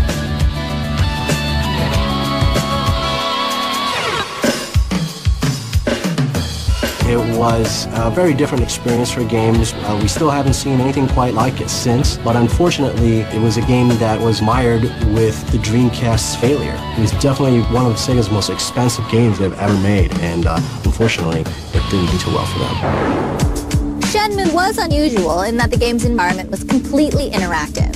While Shenmue was different, the Dreamcast also had a share of flat-out bizarre games. But which ones were the most bizarre? Dreamcast had tons of cool, weird games. Sega's known for their classic four. My favorite one was Samba de Amigo. It had um, crazy cartoon monkeys. My personal favorite would be ChuChu Rocket. ChuChu Rocket was the first console online game, I believe. It was created by Sonic Team initially internally as a experiment for Dreamcast's online connectivity, and they decided to release it as a game in itself. Another one of my favorite ones was Typing of the Dead. You could use the keyboard and basically play House of the Dead, but instead of shooting, you had to type out a sentence quickly enough so you could shoot the zombies. Space Channel 5 was another pretty bizarre offering from Sega. It was basically a music game, but it featured Ooh La La swishing around like a model, so this is really quite like nothing that team had done before. Well, definitely the most bizarre Dreamcast game, without a question, is Seaman. Came packaged with a microphone, and basically the idea was that you nurture this bizarre underwater creature and eventually developed a relationship with it. Ask him how his day's going, he'll ask you how your day's going. So basically corresponding with a fish. And so eventually it would sort of make these sort of unnerving uh, observations about your life or ask you why you weren't home at the regular time and stuff like that. That pretty much takes the cake in terms of bizarre, though. Okay, we've reached the point in the show where you determine the number one Dreamcast game of all time. So are you about adventure or do you believe in soul? Sonic Adventure followed the exploits of the world's most famous blue hedgehog after his 128-bit facelift. Although the game stayed true to its platforming roots, it marked the first time Sonic had ever appeared in the third dimension. Soul Calibur was the killer app of the Dreamcast launch, and even today it still wows anyone who sees it. But which of these Dreamcast launch titles is the best of all time? The only way to find out is to check out the Filter Face Off.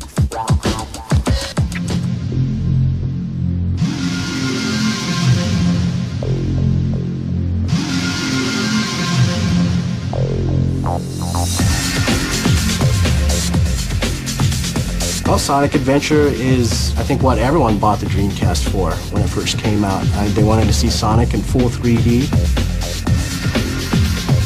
Sonic is a great character to show processor speed. I mean, he's just running full blast and, you know, the environment's moving really quickly and it, it was a very impressive title for the Dreamcast at that time. Oh, oh, that game was sweet. Sweet graphics, sweet levels, especially the courses, most of the loops and stuff they have on it, so it makes it fun. It was just fast and furious when you played the Sonic character. You could play as other characters, you know, from the series. Just kind of a fun game. Some people didn't like, you know, the open environments, kind of the adventure part of the game, but um, I thoroughly enjoyed it.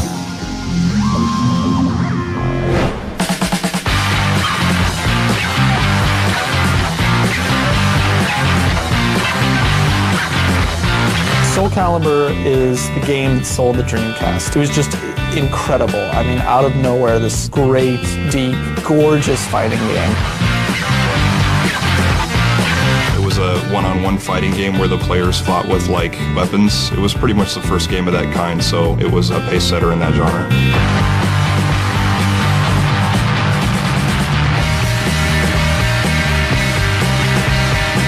Certain sense, I think the original Dreamcast version of Soul Calibur was more impressive than the sequels that came out last year for PS2, Xbox, and GameCube.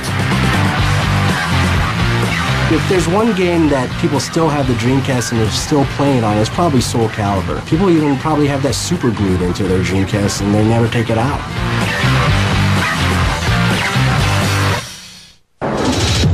You'd be pretty hard pressed to find someone who doesn't agree that these are the top two Dreamcast games of all time. But only one can be crowned the champion, and based on your votes, the best Dreamcast game of all time is Soul Calibur.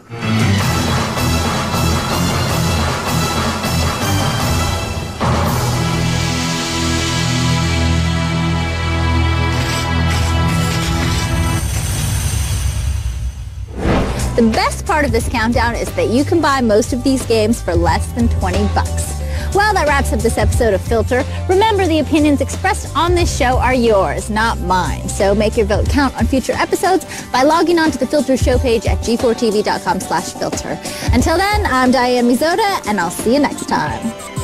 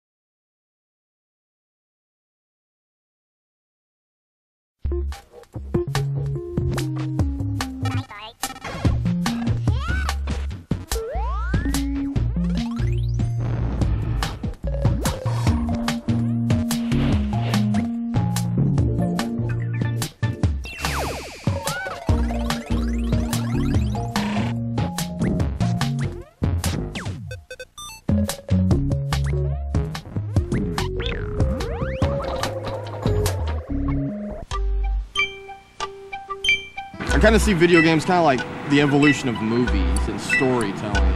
You get to immerse yourself in a world, any world you want. I don't remember a time without games. I mean, I'm 24. Nintendo came out in 85. We had an Atari before then. We had a Commodore 64 before, you know. So I've always been around games, always. Pong, I remember playing Pong. Hours and hours at Galaga. My favorite game, by the way, is Galaga still, by far. Rated T for Teen. Lesnar, you gotta watch your back. Chris Benoit tried to take me out in the Elimination Chamber. You're nothing, Lesnar. And that punk John, Cena, I run this terrain. Here comes the pain. came after me backstage. But no matter what they do, no matter how hard they try, there is nothing and no one that can stop me. You and me, bra and panties match right now.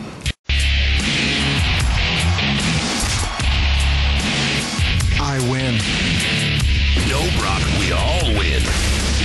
SmackDown. Here comes the pain.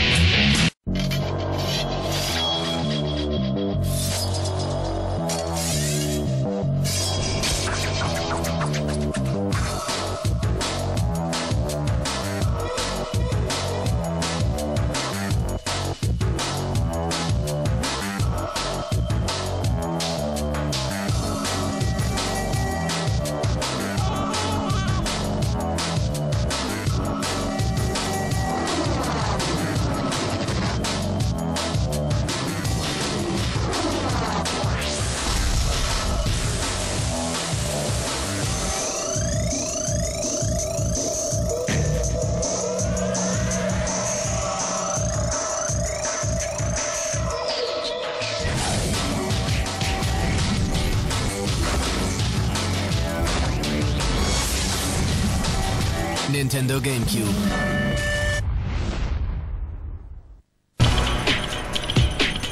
Hey, I'm Mark McGrath. I know nothing about video games. I'm trying to learn, and you are watching G4. God bless you guys.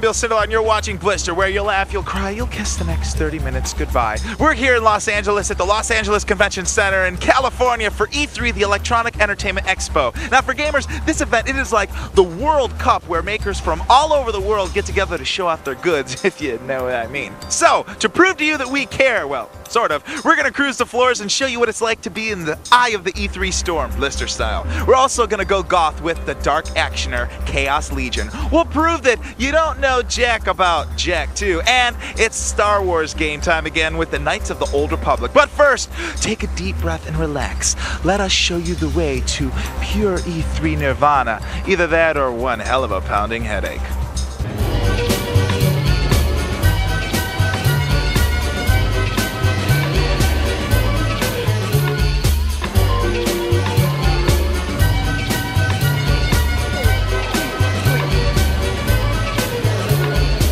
Oh, someone got in with a fake ID. Hey, it's loud. I don't know if you can hear me now, but there are 80,000 fans in the stands. I'm not a booth fan, man.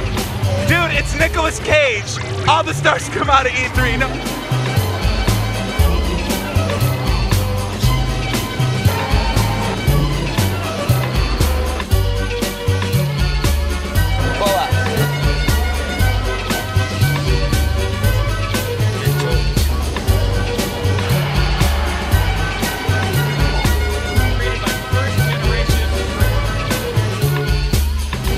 Guys like this game? Is it fun? Oh, It's awesome.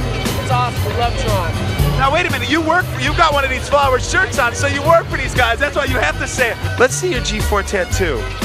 But see, she didn't go for the little one. She's a G4 rebel. You want to get a really cool tattoo? And then what's even cooler is they make you put the G4 right up on top there. See, I got G4 too. You did? Yeah, but mine says G4 pimp. You want to see where it is? No, I can't show you. I got to shave the hair off first, then you'll see it. When you're here at E3, there's a lot of things that you can do. You can check out the games, you can dye your hair blue and make yourself look like a smurf. What it? Maybe as payment for doing this interview, you can shave my No, that's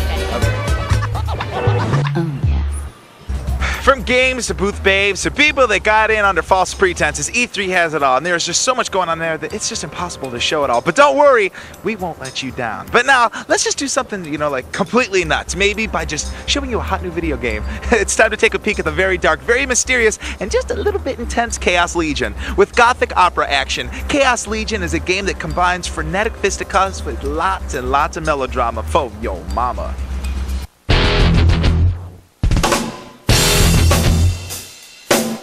Good evening and welcome to Unsolved Blister Mysteries. Tonight, we'll be looking at the mysteries surrounding the upcoming Capcom game, Chaos Legion. Chaos Legion is indeed a mystery wrapped inside of a soft shell enigma dipped in riddles, steeped in secrets, and covered all over in intrigue. In this never before seen interview, perhaps Yoshinori Ono, the producer of Chaos Legion, can try to answer these questions. As much as I would love to tell you more about the story, the more I talk about it, the more it's going to ruin the plot. But I can tell you this much. It's a story where it doesn't have a clear good and a clear cut bad. The lines between good and bad are blurred, and the player actually is going to have to play through the entire story to understand the different perspective and motivations of the characters. And those that they thought were bad may not necessarily have been bad. And those that seem good may have made a few mistakes and wrong turns in their paths on the way to where they've gotten. The main characters you'll be able to play in the game were all friends at one time. At least, that's what we've been told. Our staff did further research and found out this interesting bit of information. Well, there's one main character in the game who you play, and his name is Sieg. His old friend, Victor Delacroix, he's turned evil. And uh, basically, he is who, in the end, you're trying to fight, and he who is, who is creating chaos in the world right now, and that's what you're trying to put an end to. Friend versus friend, man versus man. Sieg will spend the entire game tracking down his former friend Victor. You see, Victor has control of a mysterious evil power, and Sieg will have to stop him. The trail will take Sieg through ancient ruins, forests, cathedrals, and other Gothic landscapes. The mystery continues. You can play as Sieg, but you can also play as a female character, and she is in a very short part of the game. The young lady Sieg meets on his travels seeks a vengeance for the destruction of her town and family. And yes, she blames Victor. She has guns and she has karate moves, and those are her powers. And uh, she was put in there as a way to kind of break it up and to, to kind of really move into the purest action for a short period of time. And then you come back, next level, you're going to come back and play as Sieg again. Once you've beaten the game, you can go through and play the whole game as her if you'd like to.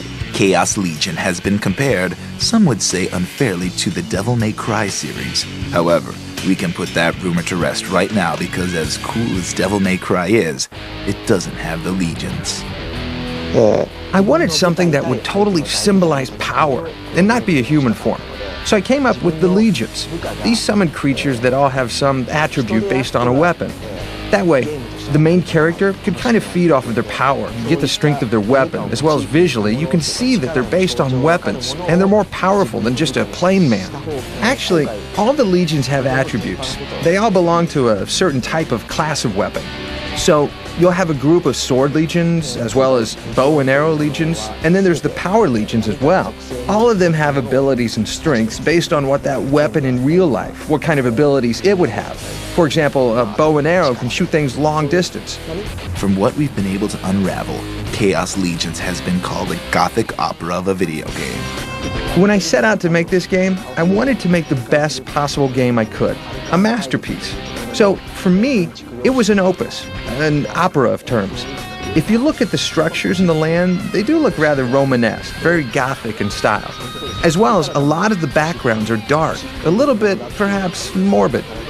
Our sources tell us Chaos Legion will conquer video games everywhere towards the end of 2003. Are you ready? You know, that Chaos Legion is one funky tripped out game. And you know, could Capcom have another franchise on their hands? Well, time will tell. And speaking of time, we need to take a few moments to prepare for our next foray into the world of the big Triple E. But when we return, we'll see what gamers are all geeked about and playing at E3. And because I love you, we'll look at the highly anticipated sequel Jak 2, the follow up to 2001's Jak and Daxter. All this and a pocket full of lightsabers are coming up only here on Blister's E3 2003 extravaganza. It's time to enter. Oh.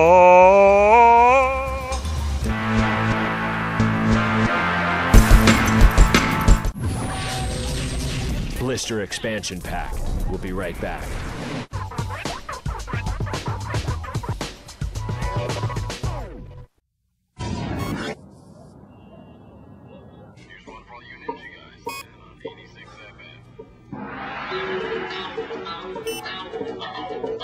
The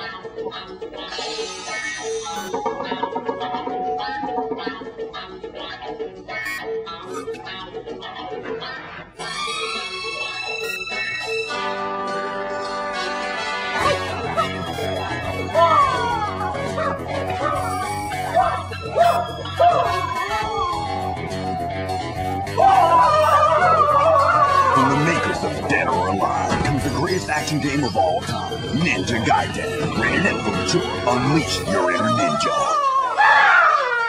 Oh, I'll take a pound of that. Xbox, is good to play together.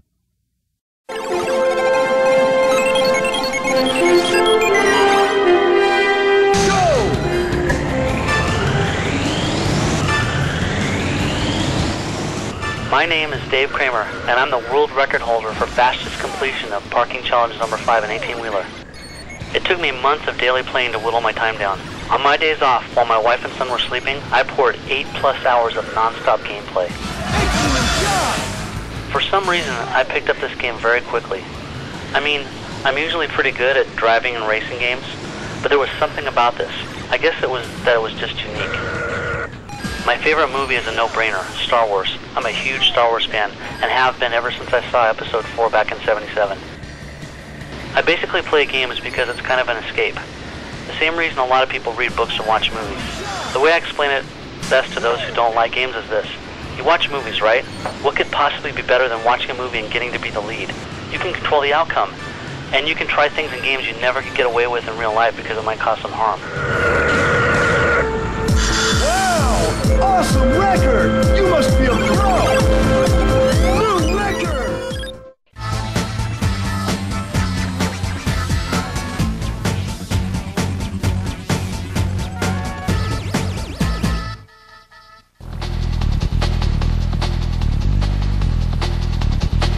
Hello, everybody. Welcome back to Blister. I'm Bill Sindelar. Now, we're here in Los Angeles at this year's Electronic Entertainment Expo, a gamer's paradise if there ever was one. And yes, this right here is the very Jeep that you will be drooling over in the latest Lara Croft movie, Cradle of Life, starring my very good friend Angelina Jolie. Now, Angelina and I, we both have something in common. She won an Oscar for Girl Interrupted, and I saw it. Which brings us to the great tag team of Jak and Daxter, the critically acclaimed platforming game from 2001. And now, just when we need them the most, Jak and Daxter return in the sequel, Jak 2. Let the adventure commence.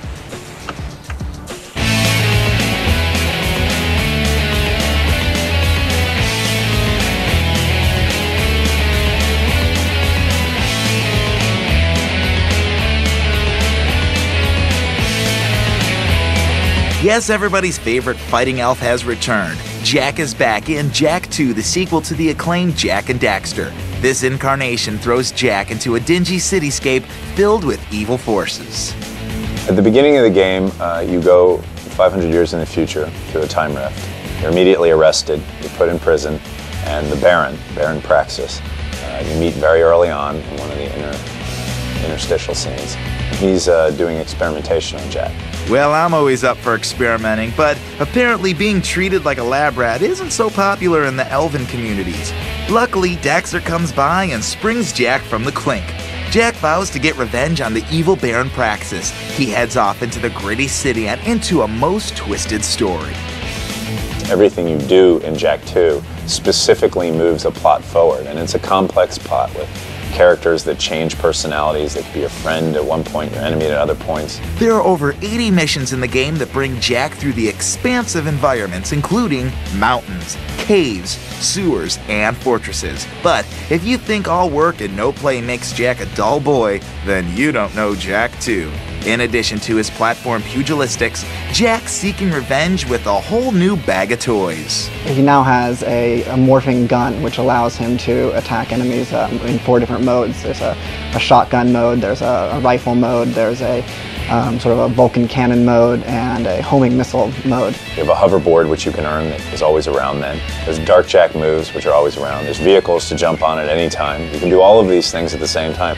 These features are things that you can you can pretty much use anywhere. It's not the case of this is a hoverboard level. The only thing you can do there is hoverboard stuff for the most part. It's really very integrated.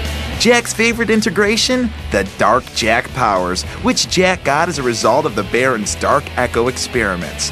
They allow Jak to do combo moves, use smart bombs, and go wacko jacko. Something's happening to me. Something he did. I can't control it. You better get low Jak on your eyelids because these graphics are sparkling. The enhanced engine allows for beautiful shading and particle effects, and it keeps you jacked up with super quick load times. the engine is far more powerful. We're able to push a lot more polygons with more environment mapping. Have much better load systems, so we're able to display a lot more. Uh, our, our characters, as they speak, are now 10 to 15,000 polygons as opposed to the 3,000 polygons in last game. The perfect number of polygons for Daxter. The wily sidekick spends most of the game unsuccessfully hitting on the ladies and cracking rude jokes, but is playable in the later levels of the game, giving you the opportunity to be the weasel. But don't let Baron Praxis have all the fun experimenting. Try it yourself. Get on and hit the road, Jack. The road to Jak 2. Where would you be without me, eh, Dax? Well, Jak, I probably wouldn't be two feet tall, fuzzy, and running around in a sewer without a pair of pants.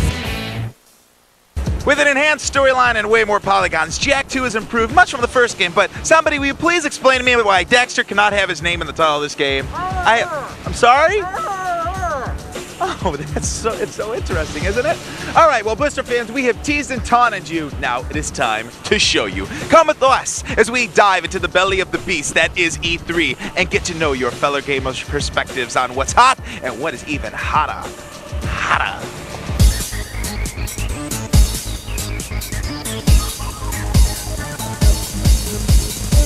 You have waited, you're in line. They have not said like anything about Halo 2 and like any publications. They've like even in Electronic Gamers Monthly, they've had like make up what you want it to be like. What are you guys expecting when you walk in there? Um, same thing, bigger and better though. Bigger and better, like more weapons, more vehicles. But how do you there's online? Online. Online. There's not too many girls that are here at E3 playing video games. No. Uh, do you play a lot of video games? Yes, I do. You do? What's your favorite game? Buffy.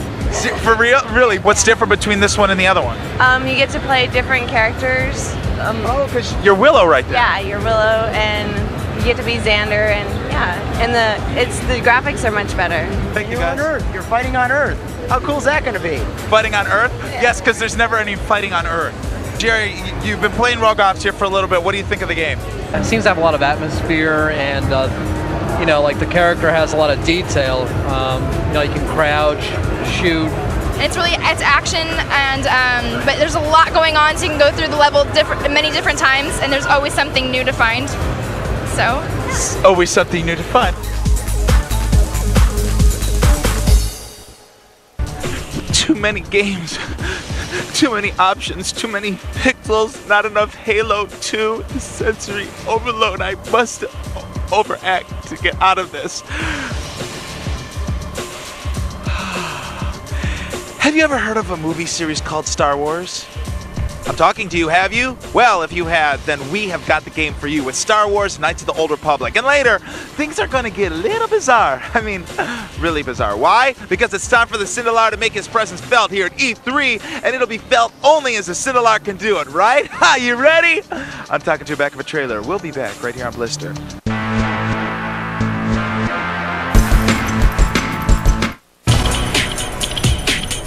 Yo, what's up? This is Big Shaq. You're watching G4 TV for gamers.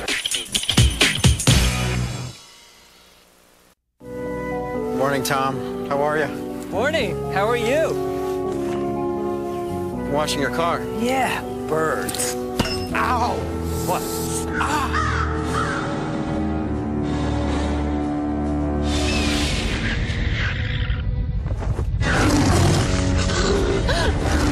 They smell blood. Yours. Turok Evolution from Acclaim. Rated M for mature. The scent of blood. Okay, Pete here is going to try to hit, hold on, that target with the Devastator, a rocket launcher designed for Ratchet and Clank.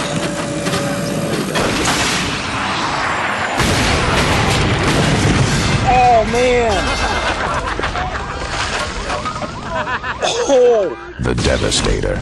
One of 36 weapons and gadgets not fit for this world. Rated T for teen.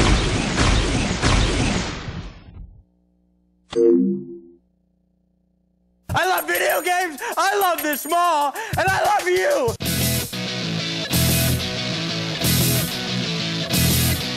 Get ready! The Duden's coming to the Mall of America for eight weeks. Bring it online. Shout out at the Code Red Rant Room. Drink free do battle on Xbox Live Games and win a chance to be on G4TV.com. Fantastic! Rant, play, drink, and win starting June 23rd. Dude, yeah!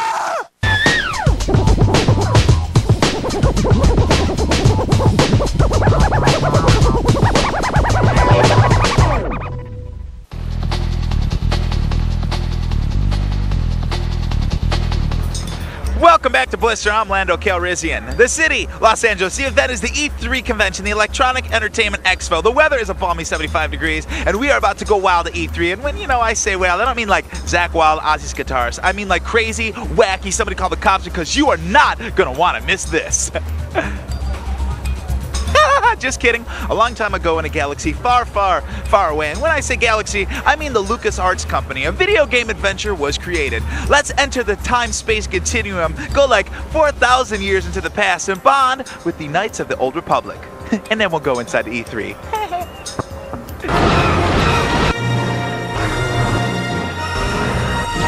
I've stood in lines for hours at the movies. I've been to sci fi conventions dressed as Hammerhead. And yes, like you, I've hung Jar Jar Binks in effigy.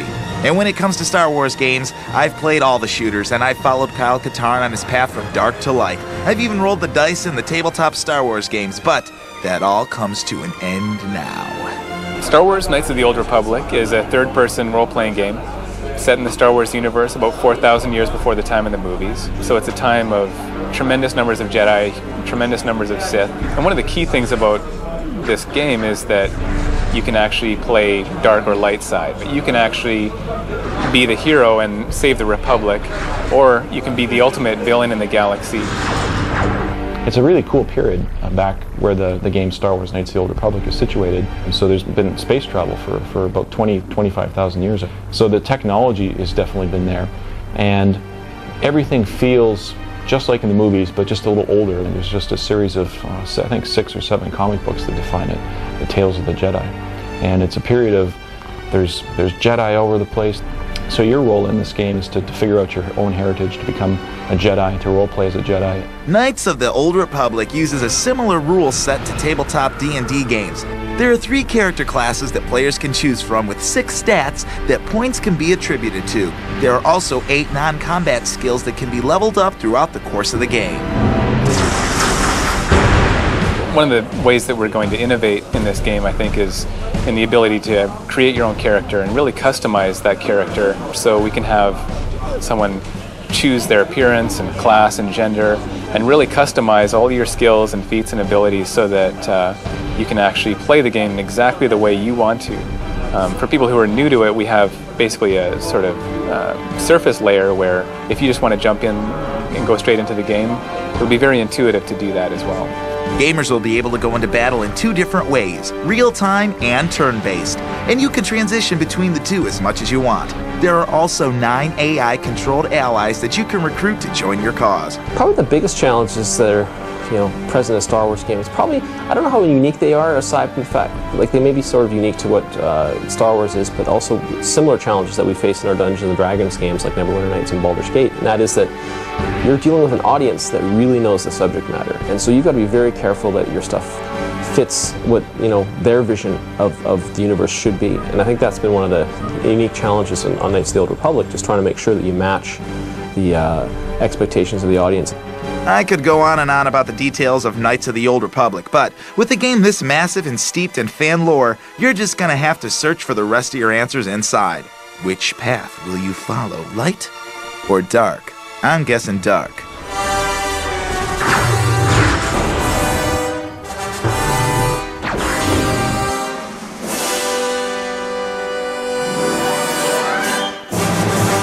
With Knights of the Old Republic, you'll get your Jedi, you'll get your Sith, you know, you'll even get to visit Tatooine, a poor man's Alderaan, you know, one of those peaceful planets with no weapons. now who's living in a fantasy world? All right, it is time. Blister fans, are you ready to go in? Woo! Can y'all show a little more excitement, maybe? Don't hurt yourselves. Look, I didn't wear a tight shirt. Anyway, I hope that there's more life inside and more of my fans.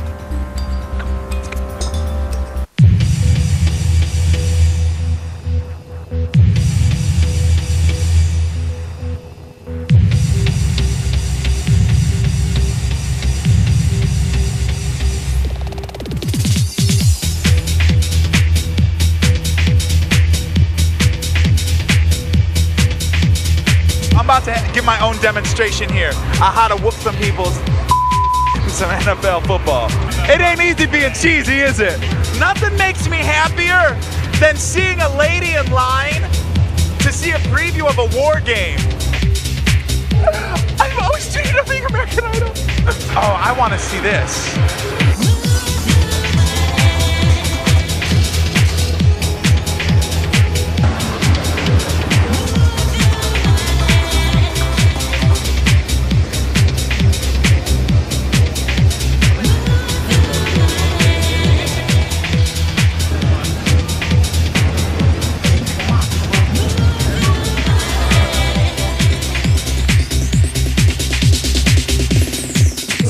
Camera crew over there, my boys from G4?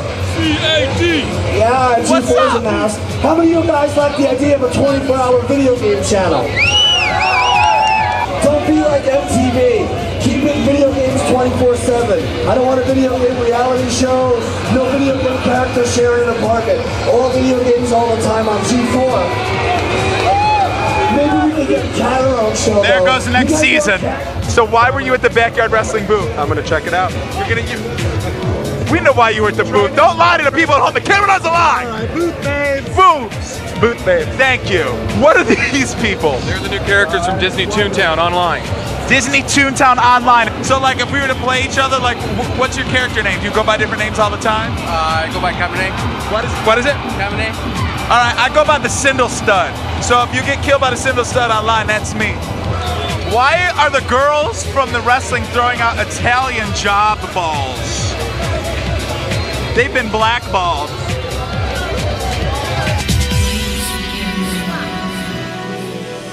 I never thought the army be booming to NSYNC in one of these things. You guys got a nice system.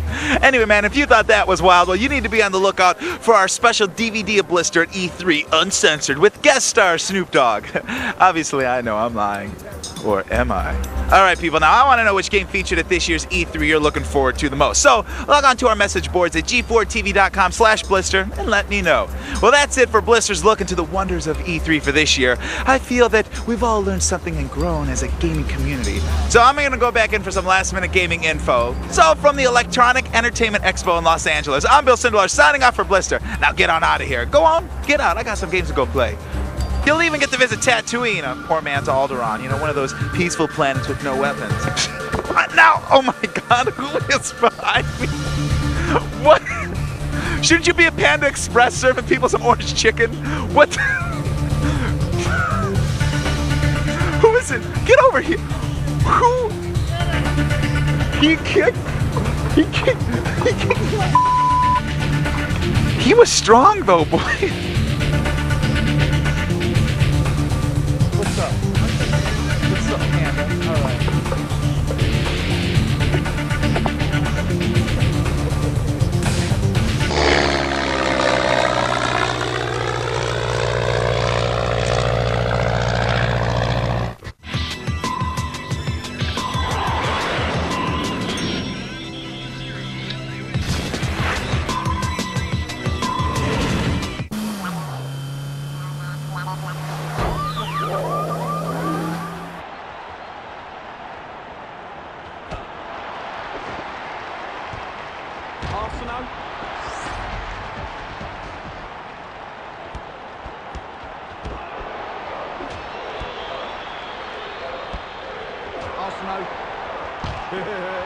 Bit hard to take, eh, Arsenal? Rico.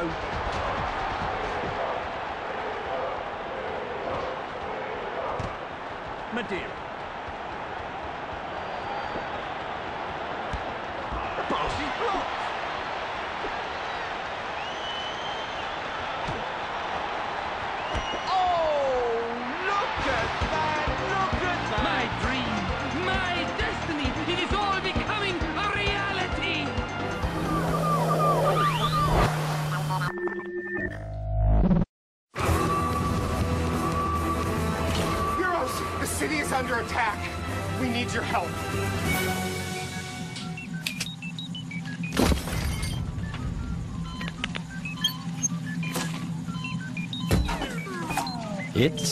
Time for some new heroes.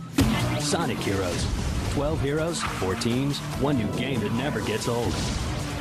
Premiering on Nintendo GameCube. Rated E for everyone.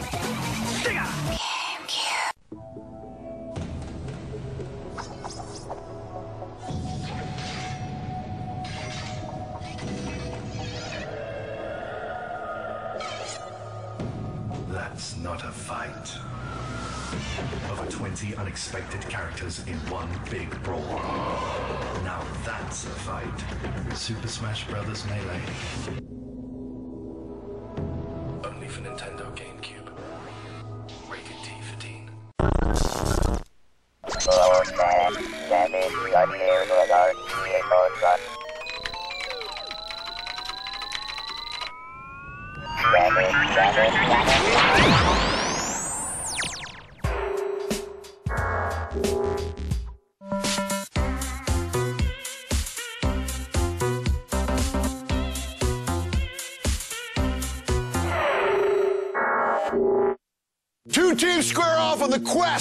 Digital domination. Its destination, vacation. Here on Arena!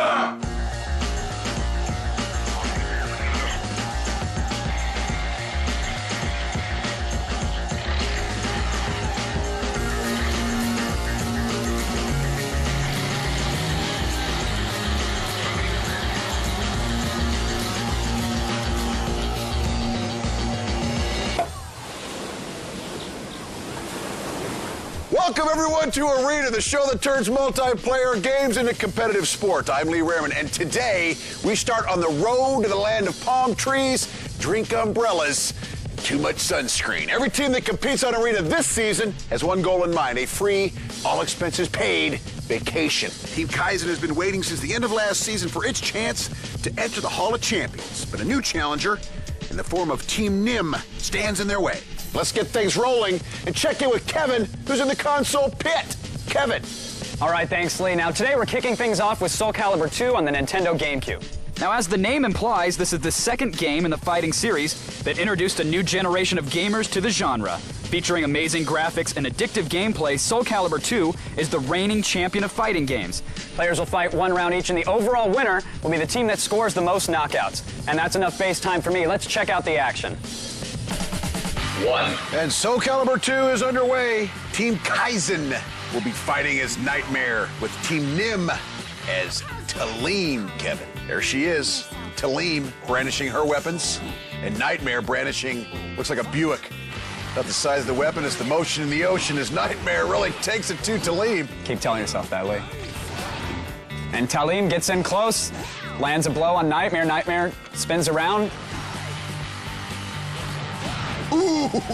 Lands a punishing blow on Talim. Talim's health deteriorating quickly here in round one.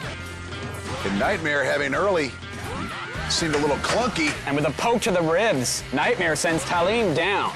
Two. And coming up on round two for Soul Calibur 2 for Team Kaizen, it is Mac. For Team Nim, it is Mastermind. And round two's underway. Nightmare off to a quick start, pummeling Talim, not even letting her get up off the ground. Oh, yeah. Very quiet match in the library today. And here comes Talim fighting back. Yeah, this ma- this round was all Nightmare though. Oh yeah, that's ownage. As he knocks her down with a quick shoulder shrug and takes round two. Three. The console round is so far all Kaizen. We had slap shots versus ringworm. You're right there, Lee? Almost. Now I know Nim went with Talim hoping to get at least one quick round. That way they could secure the MVP in the event of a tie. But if they don't win this one,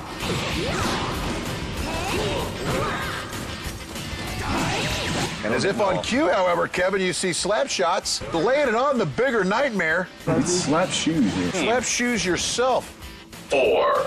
At round four, Nightmare, two to one over Talim. This is the, the chance for Talim to even it up, Kevin. Absolutely. And in round three, we saw Team Nim with a quick, quick victory that could help them with the MVP points if they manage to secure this round. But Nightmare's doing everything in his power, pummeling Talim, and he takes her down.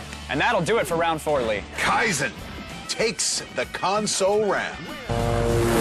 All right, well, it looks like Team Nim was going for the fastest round knockout, but unfortunately, they couldn't get the tie that they wanted. And as such, Team Kaizen takes the console round and one point. And in fact, Stacy Barcelona is with their best player right now, so let's hear what he has to say. Stacy? Thank you, Kevin. I am here with Eska. Congratulations. Welcome back. How you feeling? Feeling very good. We did pretty good at that game, and uh, we're going to take them out, I think. Well, how'd you do so good? You had a 20-second KO in Soul Calibur 2. 20-second KO? I don't know. I just handed him down a little ponage. Combo meal. Combo meal. Facial, huh? Facial. Sounds good. Well, you are taking the early lead toward the MVP race and the three points to go with it. But right now, we are going to meet the rest of your team and their opponents, Team Nim. We've played three episodes as Kaizen, and now we uh, sort of think about changing our name to formerly known as Kaizen. Uh, we're going to be A equals D is our new team name. Team formerly known as Kaizen. We're going to a uh, more of a symbol. Yeah, the name couldn't capture our actual team spirit. Couldn't capture our awesomeness. We played a lot of video games together. We played probably three or four months worth completely together. Including yesterday, which was like 48 hours straight. Yeah. We Uh, ruled Call of Call of Duty. Duty. We played a lot of Call of Duty. a whole lot of Call of Duty. yeah, Whole lot of too Call much of Call of Duty. Duty. I do not think that Team Nim is as good as other teams we played, like Minority. Still probably the toughest people that Yeah, we played. Minority for sure. They were real They're good. pretty good. They seem like cool guys, but I just don't think they're gonna beat us at video games. I'm not supposed to say they look like cool guys. they suck. But we're gonna beat them. That is what it comes down to, though, right?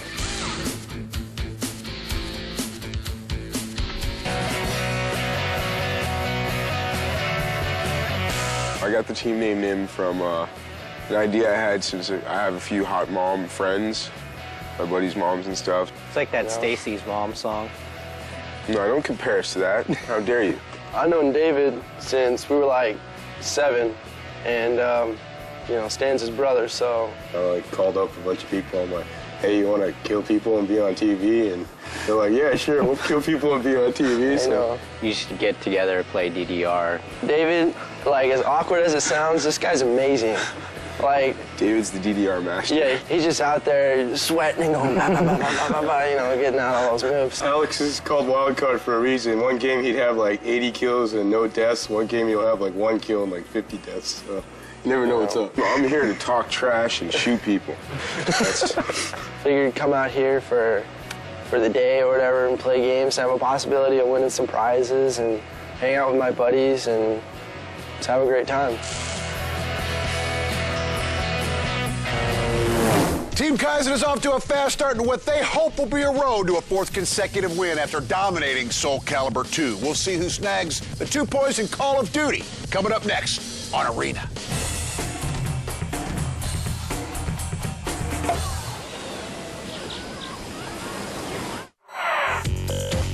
Coming up this week, we're telling you about the games of spring. And don't miss G4TV Retro classic episodes of the show every day at 4 p.m.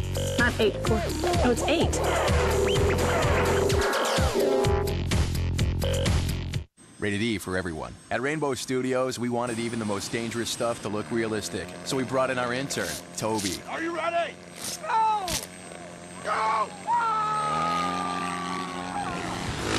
Thanks to him, you can do things in this game you've never done before, like go head to head with a monster truck, outrun a biplane, or jump a helicopter.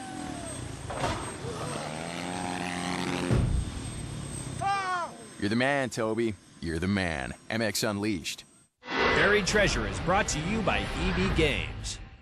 I'm here at EB Games and I found myself a buried treasure. This is a game that I really loved. It's called Indiana Jones and the Infernal Machine. It was out for the PC and then LucasArts brought it out to the N64 in limited quantities, so it was very difficult to find. It's set in 1947, so World War II is over. Now he's facing the Soviet Red Army. Like every good Indiana Jones movie, there's all kinds of really cool environments in this game. You'll be running around in the snow, you'll go to the ruins in Babylon, you'll go to Egyptian ruins, lots of tombs. He's got some rafting missions that he's got to take care of. The narrative is very good. There's some really cool voice acting in there. The guy actually sounds a little bit like Harrison Ford. The theme music is great to hear again. And there's tons of exploration and action in this game. It's a great find. It's called Indiana Jones and the Infernal Machine for the Nintendo 64. This definitely is a buried treasure. Check out this and other buried treasures at EB Games. We take games seriously.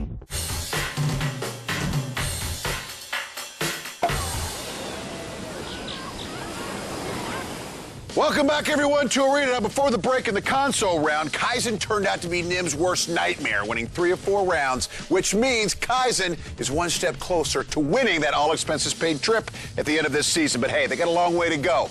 But not so far away from me is Kevin, who's right behind me. He'll set the stage for our next game. Kevin. Thanks, Lee. Yes, the game is Call of Duty, and it's a squad-based first-person shooter that drops players into the European trenches of World War II. Now, the game mode is headquarters, where the objective is to capture and defend a randomly placed radio. The map today is Rocket. Now, Rocket has an extensive underground bunker system which provides the opportunity for some close range combat, while on the surface, the open environment offers ideal conditions for snipers. So let's see who will claim the two points for this round. One. Call of Duty is underway. Kaizen posing as those pesky Germans in the Axis doing a little Sprechen Sie Deutsch with Nim as those wonderful allies. Kevin trying to capture the radio. Team Nim off to a quick start. Each 45 seconds yields 45 points. Once the enemy has it, if you destroy it, you get 25. Hey, we gotta take it before 45's out. Member of Kaizen chucking some grenades. He goes prone behind a buddy and takes some fire. And now he's on the move. Weapon selection is key here, Lee. You need to plan for the uh, close quarter combat with a little automatic rifle. You can go with the sniper rifle for the outdoor long range firing. Two down, two more to go. Mac for Kaizen. Very nimble here on the landscape. Got one. Kaizen just picking off enemies. Woobs fighting his way out of that bunker. Quick firefight takes down a member of the opposing force but gets taken out himself. While Ringworm again seems the aggressor here for Team Kaizen. Here in Call of Duty, it's a 30 second respawn process. Kind of like being in purgatory. And it looks like Team Nim is securing the radio at this point. And as we all learned in history class, Lee, control of the radio is what turns the tide of war. Hey, we don't need two you guys in there. Mastermind prone in the bunker, taking some fire, and he gets taken out. All right, I'm right behind you, Al. Kaizen on the verge of turning the tables here. And it looks like Kaizen has successfully destroyed the radio, and now both teams are frantically making their way to the next random spawn. It's under, underground, underground, underground. Notice the communication by Team Kaizen letting each other know where the radio is and where certain enemies are at all times. Time winding down here in round one. I'm in there. Capturing. Ringworm for Team Kaizen is trying to grab control of that radio. He's got a teammate there to cover his back. First half of this round was spent outside, the second half inside. Tony Montana chucking some grenades around a corner trying to clear a room. Say hello to my little friend. And Montana gets taken down, unable to destroy the radio. All Kaizen here in round one of Call of Duty. Two. And round two underway, Kevin. Kaizen having taken round one. No history here, so they just took it because they were better, I guess. Well, they had clear control of the radio the entire round. I think it's underneath. It's underneath, yeah? Both teams on the move right away. Tony Montana and Wildcard aggressively moving through the landscape. You can tell these guys know they have to be the aggressor now. And they've got to watch out for the team killing, Lee. Unfortunately, Nim took out a couple of their own members last round. Tony Montana going in and out of these bunkers in search of that radio. And down he goes, does Tony Montana. And Eska for Kaizen down in a bunker. Eska peeking around the corner with his whole body, not taking advantage of the lean feature in Call of Duty. And Woobs for Kaizen crouched atop the hill. Notice they leave him outside of the base so he's able to see which way the enemies are entering, Lee. Excellent strategy. Hold outside, hold that door. Don't let him go through that door. Mac for Team Kaizen, prone atop the ladder, controlling the radio for the entire round. Woobs drops down behind a rock for some cover and takes out a member of Team Nim. Someone's gonna have to take that from the top. Kaizen's in control of the radio right now, and a member of Team Nim trying to change that. He makes his way up the ladder, but runs into a prone member of Team Kaizen and gets taken out. When your character climbs that ladder, Lee, he puts his weapon in the holster, so unfortunately he's unable to fire until he makes it all the way up, and a member of Team Kaizen took advantage of that. And for the second time, using that same strategy, prone in front of the ladder, member of Team Kaizen is able to defend the radio by taking out an enemy. Hey, we already won now. So do whatever you want. A little smack talking by Team Kaizen. Or stating the obvious, one of the two. And Team Nim finally regrouping around that hole, trying to make one final push towards the radio. Mac for Team Kaizen, he spent most of his time right there just laying on the floor. Well, a single grenade through the window would be enough to take him out, but unfortunately I don't have a keyboard and mouse in front of me. I think the radio might blow. Kaizen was in control of the radio so long, Lee, that the, the radio decided to self-destruct. It got that bored. Call of Duty round two goes to Team Kaizen. Three. Hey, oh, game's on. Round three underway here in Call of Duty. I just overheard Team Kaizen calling this a victory lap. And there's something to be said about a round so boringly that the, the radio decides to take its own life. Radio's place. Team Nim is looking for MVP points and total kills. Tony Montana moving around those bunkers in search of that radio. Eska for Kaizen went prone behind a tree, but unfortunately was not enough cover for him. And Tony Montana unloading on a member of Team Kaizen. Tony Montana takes down Woobs. Woobs, he did it again. I'm just kidding, Lee. You working out? Well, it looks like Nim has clearly stepped it up. They've eliminated several members of Team Kaizen early on here. And I believe Team Nim is actually in control of the radio, Lee. Team Nim hoping to rack up some of those MVP points as well as total kills. No more trash talking from them, guys. Hey, we're down 135 to 37. We need this radio. It's all Team Kaizen here, making a push towards that radio. And Ringworm for Kaizen, prone yet again inside of a bunker, waiting for an enemy to peek his head around the corner. The radio spawns right in front of Ringworm, and he's securing it now. Let's see if Nim is able to take him out. Tony Montana opening fire, but decides to take a little nap in the snow. He gets taken out. He's outside. He threw a grenade. And if I'm not mistaken, Ringworm just got blown to Oh, you're not mistaken, Lee. Eska for Kaizen takes out a member of Team Nim who was at that stationary turret. Two members of Team Kaizen crouched behind those boxes for cover as Tony Montana tries to flush him out, gets taken down around a corner. It looks like a member of Team Kaizen is at the radio. They're trying to secure it now as fire breaks out. There it is. There's the radio. Uh. And Eska for Kaizen gets mowed down. And Nim is at the radio now, crouched in a firefight, muzzle to muzzle. No one's left. No one's left. Get the radio. Nim goes down. It looks like Ringworm for Kaizen is the last person left in the round. He's there to secure it. Bodies are everywhere. Nim had to get it going here in Call of Duty Round 3. Yeah, Kaiser lost. Finally. and Nim takes round three, Kevin. All right, well, it wasn't the most exciting strategy of all, but Mac for Team Kaizen proved that a little patience goes a long way. His defensive prowess gave his team two points in our PC round, and now he's standing with Stacy Barcelata for his five seconds of fame. Thanks, Kevin. Congratulations, Mac. Let's talk about your Call of Duty defensive strategy. Well, really camped him out that map. Let the little jabronis come up, take off their heads. Real good fun. Two down, two down. You did a great job. How do you think the next round's going to go against Team Nim? Oh, we've been sessing SOCOM 2 real hard. No chance. Wow, no chance. Big words, maybe, but it ain't bragging if you back it up. Lee, isn't that what you always say? Or is it Kid Rock? Not Kid Rock, it's Kid Hawk. But while our teams prepare for battle in SOCOM 2, you can check out our website at g4tv.com slash arena, where you can read player profiles and sign up your team to get on the show. Our final showdown in SOCOM 2 is coming up after this on Arena.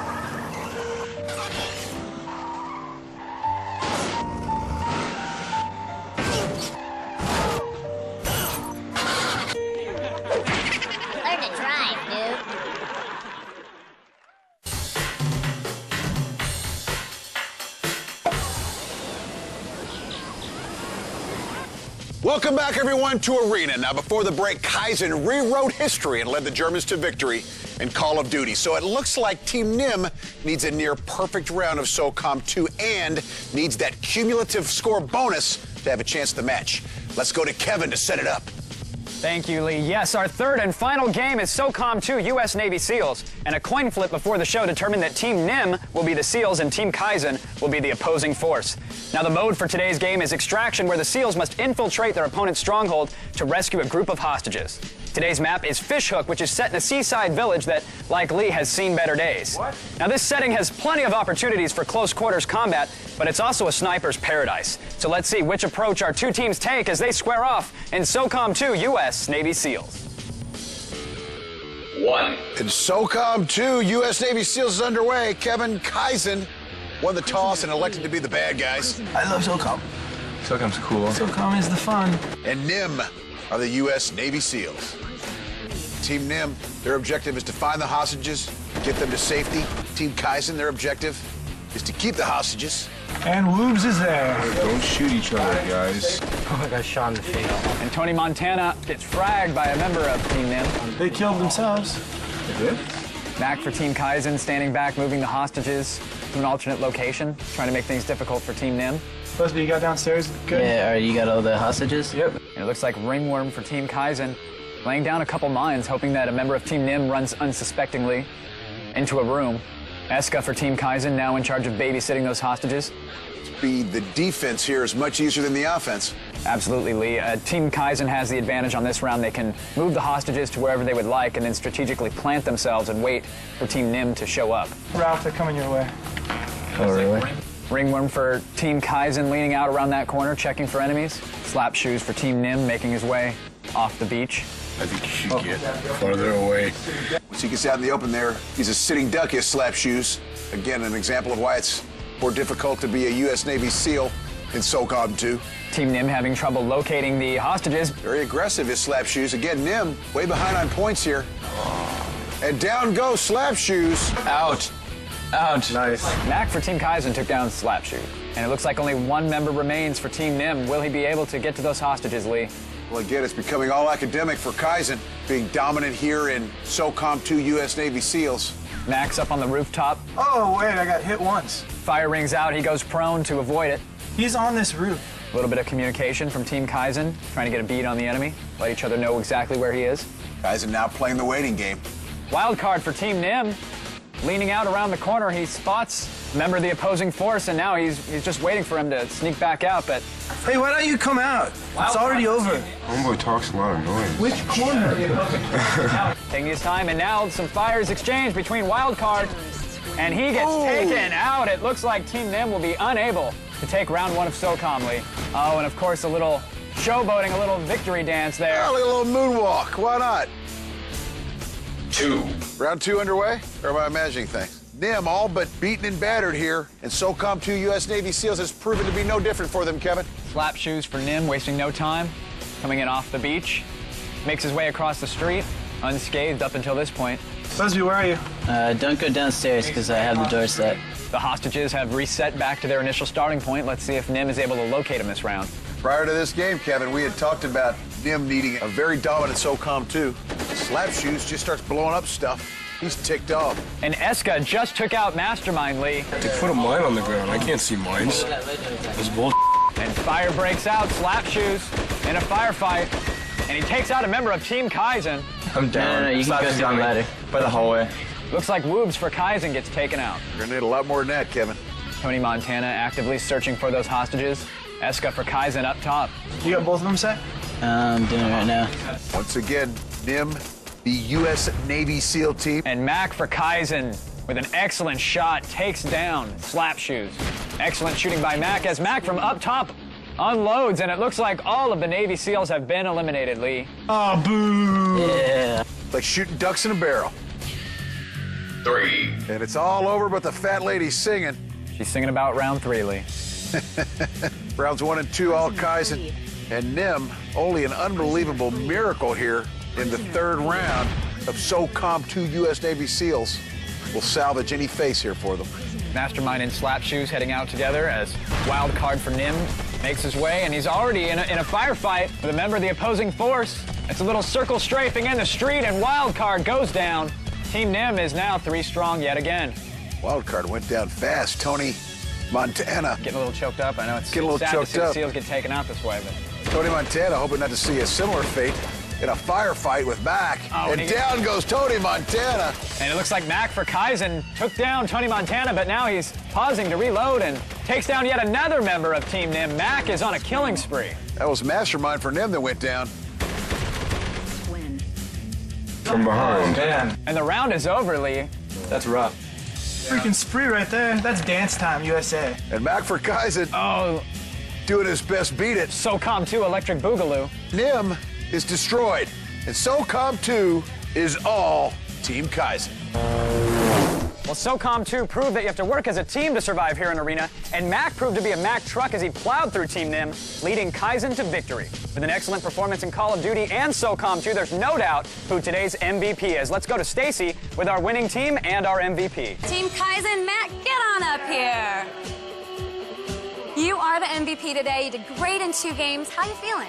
Ah, it's complete ownage. They couldn't do anything. Only one of them left. Only one of them left. You guys did own them. Now, next time you're going for Win 5 and the Hall of Champions. How are you going to make sure that happens? We're unstoppable. We don't have to do anything. Oh, backflip. Unstoppable. Congratulations, Team Kaizen. Lee, take it away.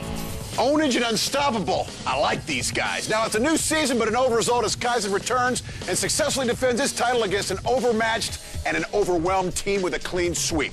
And now they're only one big win away from being the first team in season three to qualify for the Hall of Champions and a chance at winning that all expenses paid week of fun in the sun, courtesy of Arena. We'll see if Kaizen has the stuff of champions on the next episode of Arena.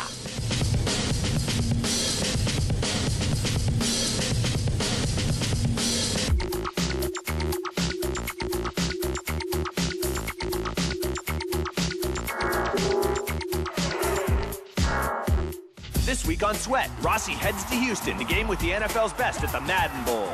What you doing on the ground, man? Come on. Hang out at the hottest parties. And it's live, man. And talk NFL fever with League MVP Peyton Manning. People are going to start beating me now when I play them. That's why you come to Madden Bowl, and that's what it's all about.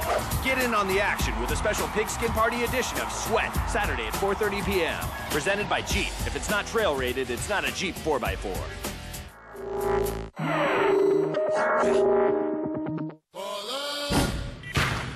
live the the life,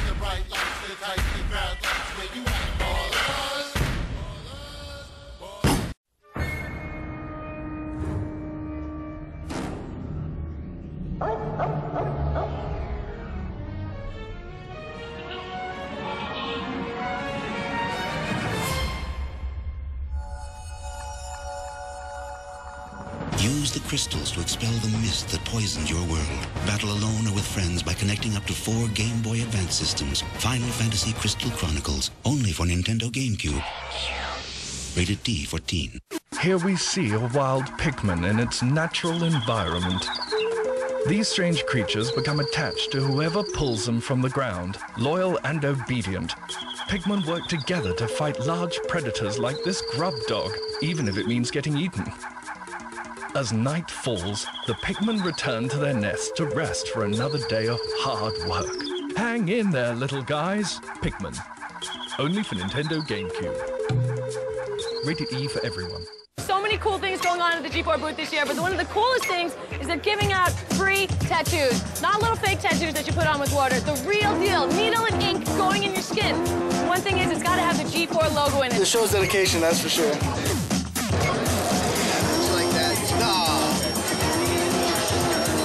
Nervous. Yeah, it's first time. Oh, wow. The pain purifies. Hardcore, dude.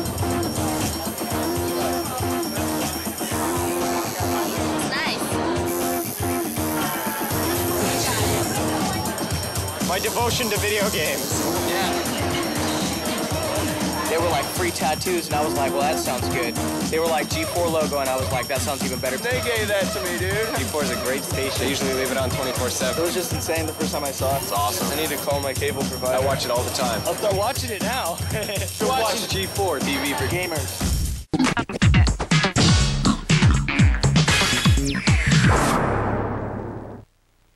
Adam, people always ask me, what is Adam Sessler really like? Is he really a geek and a dork like he acts on TV, or is it phony? And I tell him, no way. Adam is no phony. He is the real deal. Thank you, Tina. I, I, I really do appreciate it. Yeah, that. I mean, it is so true, guys. This guy is truly a geek and a dork. Stop it, stop Yeah. it, stop, stop it.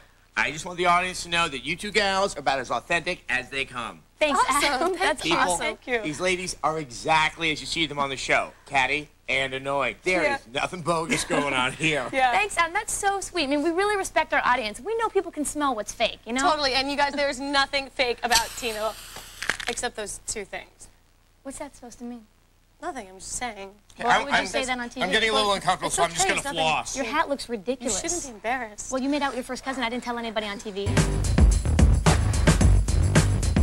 Can you make a quality RPG using nothing more than a half-assed understanding of Confucianism? We'll find out with Jade Empire. And we'll take a look at Midnight Club 3 and ask if the world needs yet another illegal street racer. And I'm Lesley Stahl. These stories and Andy Rooney tonight on G4TV.com. Hey, everybody, and welcome to the show that changes boy toys more often than Michael Jackson. Oh, allegedly. Hey, hey, hey. bad. You're bad. Hey, it's true, it's true. Anyway, Adam, it's so awesome to have another blonde, spiky hair person on the show. As you know, these brunettes are really bringing us down. Well, you know, the spiky, that's that's really kind of, I, I think it's more like sprouty. I was like, being- like, I was yeah, being best kind. effort basis. You meant uh, bleach blonde, right? Natural, it goes this way. Exactly. Just like this. And you know, I know I'm a big fan of Morgan. Tina and Morgan. No, it's not that we get along. We're friends. Except for all the video evidence to the contrary. That's all. That's all. We're working through our problems. We're, we're seeing somebody. You're working it through. Not the same television. person, but we're seeing like therapist type talking to somebody. Right. So we're working it out. But how's your show going? the show is going fine. Um, it's still on the air, and uh, so I, I just check every night, and then I know, Uh-huh. okay, I can go into work tonight. And it's not just on the air. It's on the air about 70 times a day, Adam says. That is true. That's true. So if you ever miss me, There's no lack which of I do.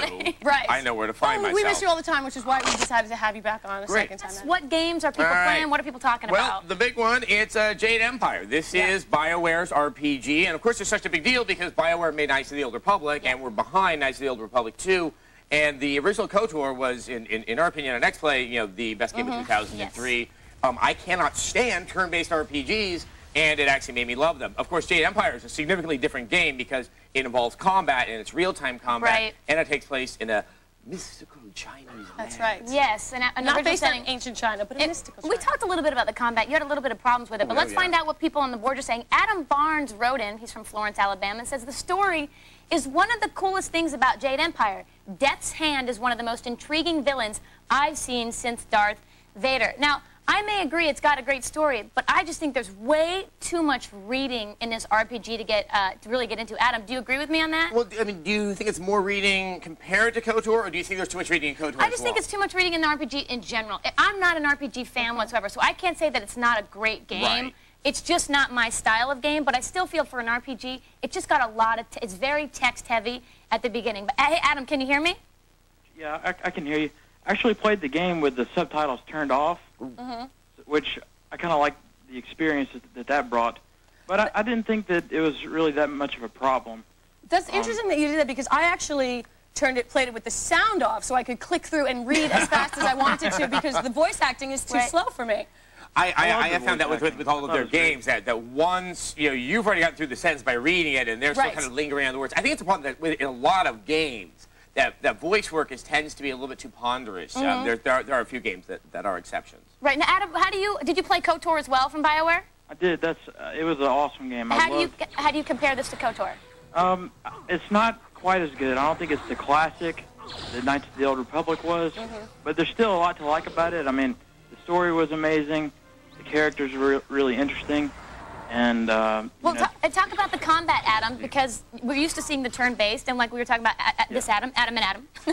uh, it's it's real time. Does that pull you out of it, or do you prefer just seeing the turn-based like we did in KOTOR? Well, I, I thought the combat in Jade Empire it kind of works for the game, but it, it's not as as big of Yeah. you know. It's, it's, it's, it's not as nowhere good near as- as polished.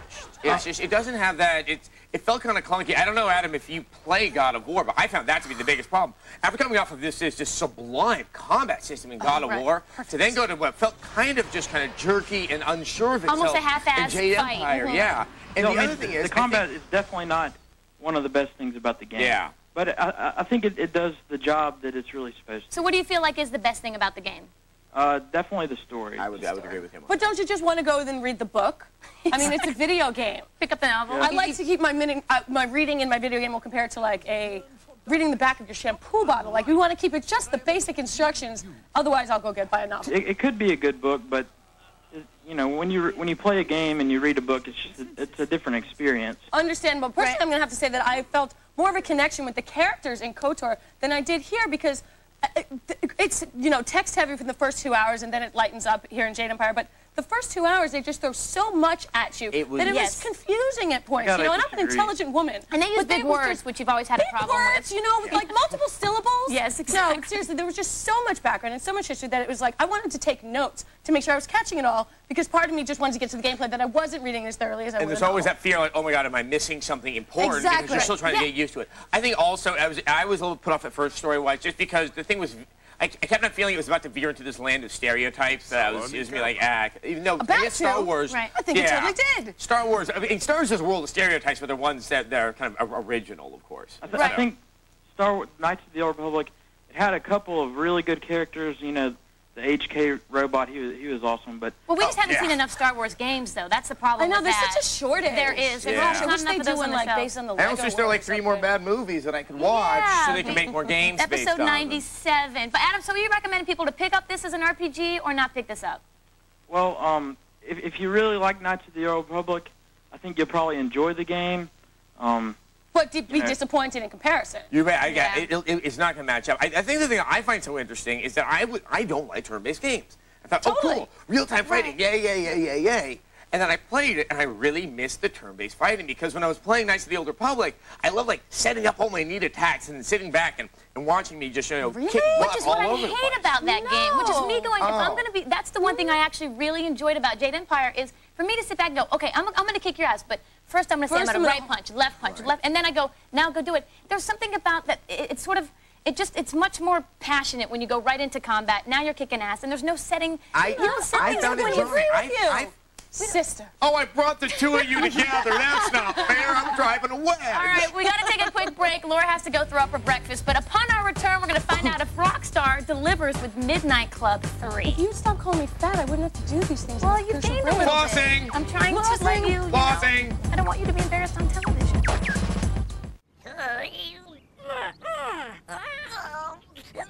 That's it. Lip, lip to the right. Oh. Oops.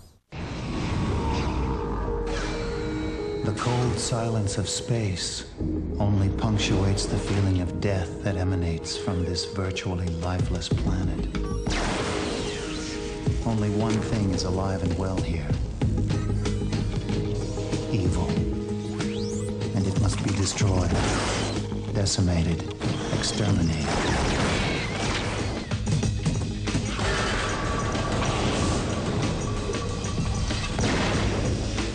First, it must be found.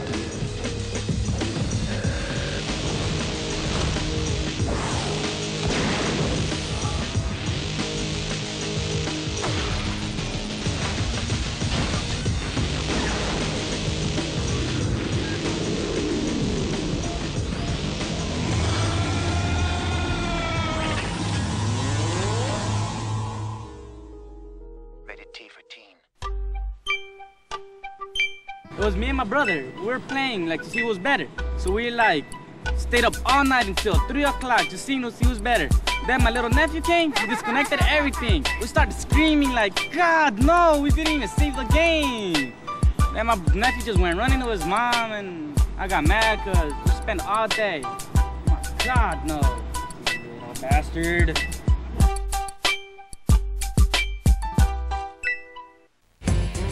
This is Father Adrian Gonzalez. I just want to say that I will be renouncing my religion of Christianity to worship the Greco-Roman gods. Thanks to the awesome video game of God of War. Really did change my life. Why is every single time there's not a naked chick or lots of violence in a game, people always say, oh, it's kitty, and don't play it? Is the game fun? Yes? Then shut up and play it. I want somebody to make a Tony Danza game and call it Extravaganza. I like the I like the religious one, so it's like the new Well, Kabbalah we're, would be we're, God we're, we're bringing spirituality to the world. yeah, I, people's, yeah, there's positive things. Religion, I, I hear sex, Tom violence. getting in a car to come over And the here reason now. it's a kiddie game if we don't have sex, drugs, and rock and roll, because that's all adults do. exactly. So Hey, welcome back. Oh, really? Adam Sessler of You're still a X-Play fame is joining us. Yes. We couldn't afford Morgan, but we're very excited that you're here. Well, I, I mean- I, I heard there's a fruit basket for me afterwards. Actually, Morgan, Morgan ate, ate it, all. it, but, but we're really she excited left you're you a here, and you look great. I love your shirt. We All tried right. on a couple shirts before. Yeah, we did. And this is the we, one we, we we settled with on. this. And, Yeah. uh, well, we know what the kids say about my shirts and what it does to their members. And Yes, we'll, but, but, we'll but, but anyway. save that for X-Play. But beyond X-Rated Jade show. Empire, what's everybody talking about? All right, so now Rockstar Games put out another game. No, it's not Grand Theft Auto.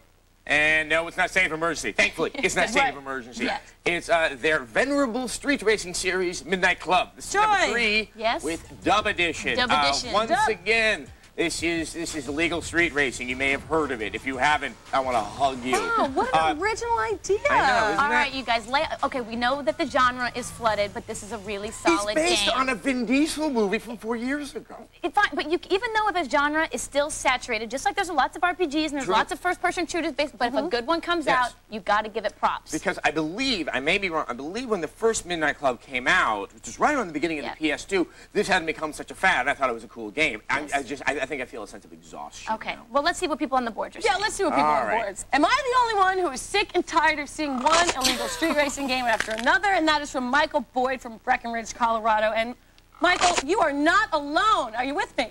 Yeah, how's it going? Good. Now, what do you think of illegal street racing games as a whole? Well, as a whole, I think they suck, pretty much. They suck, but do you, I mean- individual. Hold up. Uh, Tina's about to chew you out, but hold on. I'm, gonna- I'm going to get you back here for a second. Have you played Midnight Club 3? Let's start with that. Yeah, I played. I played Midnight Club 3. I, I actually think it's out of all the legal street racing games, it's probably one of the better ones. Thank you. Okay. That's I all I'm agree. asking I for. agree. Thank you. I just want someone to come up and say, yes, but this conversation is not about the genre in general. It's about Midnight Club 3 because that's what people are playing. It's mm-hmm. got online capability. It's got the deepest customization mode that I've seen in a, in a legal street racing game. And I just think it's a oh. really, if you like racing games, which you don't like, Laura. I don't like racing games. I You don't know. like driving real life, nor do I like doing it virtually. Right, and I don't think out of, you're, People you're a hit fan me of with it. cars. Yeah. Yeah. and out of the three, this is by far the best. I did not I- I- like I will Midnight have Club to 1 and 2. concede that. Michael, Very Michael, difficult. what do you like about played, the game? But I think the genre as a whole is really kind of it's get, getting really tired. I mean, there's there's on Need for Speed Underground. They're making a new one, like Uh-huh. Most Wanted or something like that. Let's But- discuss. What is it that you like so much about it that makes it uh, above and beyond the others? Well, I like the customization, Mm-hmm. like adding all the parts to it and you know tricking it out and all that. Totally. I like the um, Xbox Live support.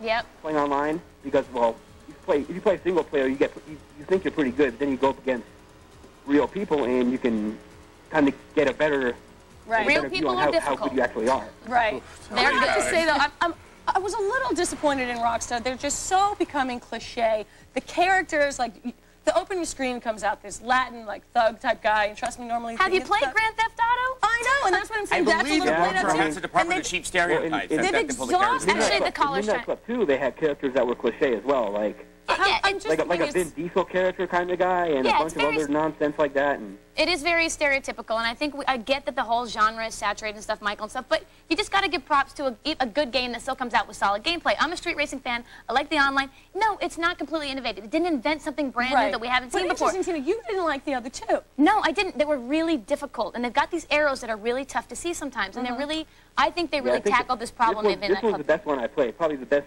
street racing game I played. I didn't even think one or two were even playable. It was so frustrating. You got lost all the time. Well, I think what's, what's, what's going to be sad is, I, I mean, I, I agree. This other genre is probably one of its, its, its best examples, but Need for Speed Underground just somehow has a lock on this, Yeah. and the people can't seem to look outside of it. I'm really curious to see if Rockstar, by virtue of them being, Being Rockstar, Rockstar. Right. will be able to at least show people an alternative, so it'll force you to try to make a better game. And I think, I think Need for Speed Underground is, is, is just a, is, it's, it's a disc that's an ad. I mean, it's just Right. it's nearly. Yeah, well, so you in- prefer in this Underground, Oh. I would play this game. I would recommend this game to other people who like this type of game, and I would Right. steer them clear of Need for Speed Underground, where the customization there is Right. is, is, so superficial. It has no actual bearing on, on what on how the car really performs. But it's missing one thing. It's missing boobs and, and ass. Yes, But I'm about to say, and I being a connoisseur of that from Yeah, a distance. right, I, right. I've never That's really what I've heard about you, close people on The yeah. Office, the well, girls. That and the cars and uh, a, a highly colorful character.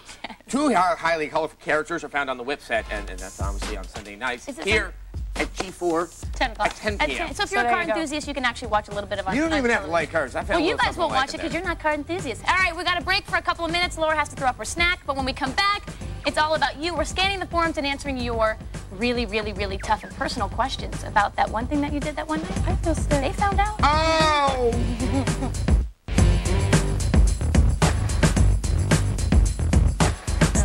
We'll keep that our little secret. hey, welcome back to the show. We're having a fantastic time. Adam Sessler's joining us. It's been a blast. You look fantastic, by You the look way. good. Really? You look. re- You You know, look the great. minute someone good. says that to me, like the hairs in the back of my neck stand up, 'cause I know something bad's about to happen. Well, you have something on your nose, but it, don't even worry about it. We're not even noticing that. All right. I like the hairs on the back of your neck, Adam. Okay. Okay, stop. Hi. Don't don't Mm, make me slide. floss. All right, on the show, Adam, Laura, Yes, settle down. Tina. We really pride ourselves in bringing top game developers and company executives to give you guys great previews and to get thoughts on what's coming up, right? It's important. But what we're missing are the people on the front lines. Yeah. Right? Those guys that know what people are renting, what they're buying, what they're selling, and what they're replaying. Yes. It's a gaming trench foot. That's what these guys Exactly have. what it is. So we decided to go to America's Heartland to meet our soldier. Aye, aye. His name is Shane Say Hoffman. He's the manager at Maple Grove, Minnesota Game Zone. So Yeah. we're going to call him up right now, and we're going to ask him a couple questions. We want to know what the game community is doing. We want to know. So From we're going to go ahead and Can help you? Hey, Shane, how are you? This is Hey, Tina Wood from G4. How you doing? Uh, I'm doing okay. How you guys doing? We're doing fantastic. So we just want to ask you a couple of questions. First of all, thanks for being on the show. Oh, you're welcome. Um, what are people renting right now? Uh, tons of people are asking for Revenge of the Sith. They just have to wait a few more days, but I think it's going to be an awesome game. Mm-hmm. Um, a lot of God of War. We were selling out of that game like crazy. It just cannot keep it on the shelf. That game makes people change their religion. I just want you to know. Yeah. It's. They, they go monotheistic and polytheistic. I have to say, I was just at Star Wars Celebration 3, Mhm. and they had the Revenge of the Sith game there. This is the first time I've seen a move like a, a Star Wars game based on one of the movies that looks like a legitimate game. It's being done by the Collective, which have had some hit or miss, but some pretty good stuff with Indiana Jones and uh, uh, uh, and, and Buffy. Mm. But this has real saber So it's not combat just like fanboys being before. excited about it. It's going to be a legitimate game. I mean, game. the best way we could describe it, it's kind of like the Return of the King and the Two Towers games in Star Wars. This was now, now, Shane, what can you not get rid of? What's just stacked on your shelves that Yeah. you can't sell fast enough? Uh, Halo 2. Um, yeah. Well, it's been out for a while. Let's cut it, cut it some slack. And what about, are people returning anything? Um, yeah, a lot of uh, trade-ins right now on Time Splitters. It's a great game, but it's incredibly short. People have been complaining about the length of it. And, like, it's all about the multiplayer, but Mhm. if you don't have online, it's pretty much, you know, just play for six, seven hours, you're done with it. So really no, so we're seeing no replayability in Time Splitters.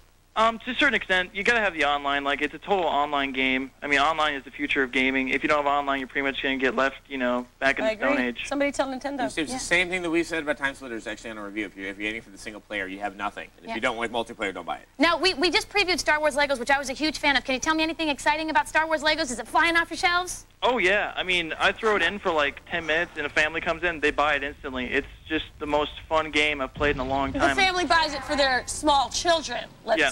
point out that. Thank oh, you. you. always have something negative to add. Shane, we really appreciate it. And how's your day going? You having a good day? Yeah, you know, it's awesome. Uh, good weather. People are coming in, you know, checking out all the new stuff that came out this week, so it's a good day. All right, we're going to all call your store and hope that you get a raise. Oh, thanks. Thank you, Shane, so Thank you, much. Shane. We We'll appreciate check it. in again it's all- you soon. know, it is. It's interesting to kind of go out into the community and really find out what people are really spending because we get the numbers coming in, we get Right, the we executives saying stats. my game's great, but this is a guy who's saying, look, this is what people are actually really doing. So we, maybe we'll call around a couple of different stores and. If anyone wants Halo 2, now you know where. Uh, it's Get over to plentifully Minnesota. I. I, I, I saw that guy. He's like, where can I find it?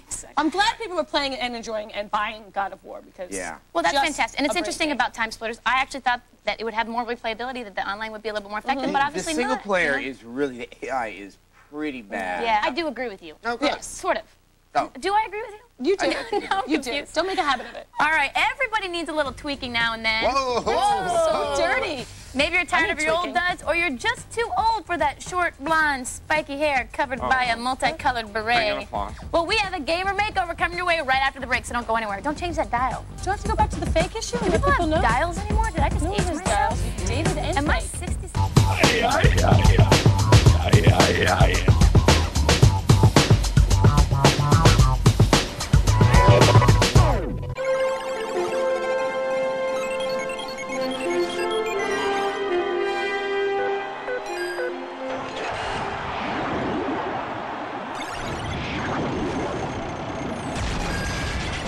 my name is Laurent Dobas, and I hold the show-off mode record for the Elysium Alps course on SSX. It took me only nine months to achieve this score. Four friends of mine, also in their 30s, purchased the system and the game so they could play too.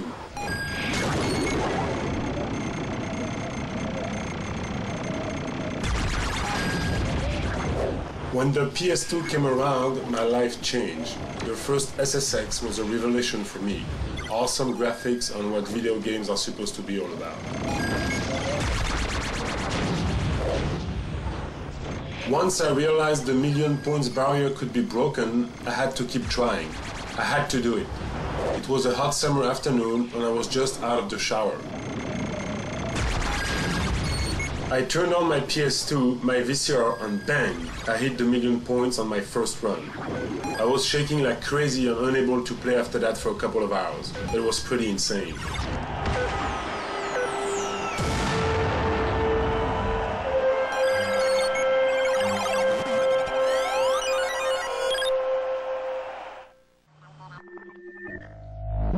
Hi, I'm Jay Smith, creator of Vectrex. Do you know your exercise? Do you know your history? G4, TV for gamers.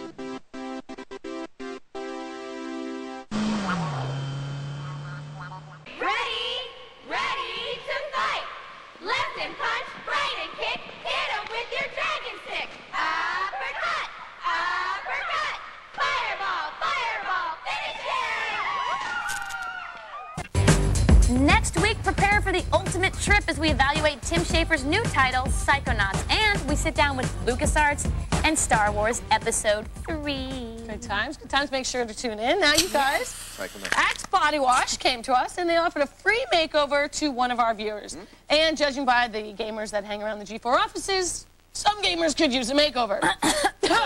Tina. You guys. Yeah. Anyway, Sorry. a bunch of you guys wrote in. Tina wrote in a bunch too, but that's a different story. But a bunch of you wrote in. So right now, let's take a look at the very lucky recipient of an Axe Body Wash makeover. Roll it. So I want to thank everyone out there who entered the Axe Body Wash Makeover contest. We got thousands of entries, but there was one guy who seemed a little bit more stylistically stunted than the rest of you. His name's Jonah. Here he comes. Now, Jonah, we're going to make you look so good that your girlfriend's panties are going to take themselves off. Come on. Now we're at the Vaxburg Salon, LA's premier salon for celebrity makeovers. And this here is my stylist, Andy Scarborough. We're gonna make you look so hot. We've gone out, we pulled a bunch of clothes that I think are gonna look really good on you, and I think you're gonna like them. You guys ready? Yeah. Let's do it, all right. Jonah's gonna get naked.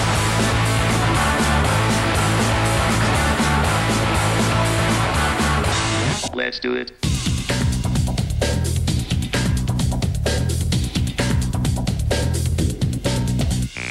Jonah doesn't know this, but we've secretly flown in his girlfriend Cindy to be a part of this special surprise. What do you think of Jonah's look? Uh, Jonah's look is going downhill. Going downhill, You know, huh? it seems like there's a scent emanating from his body.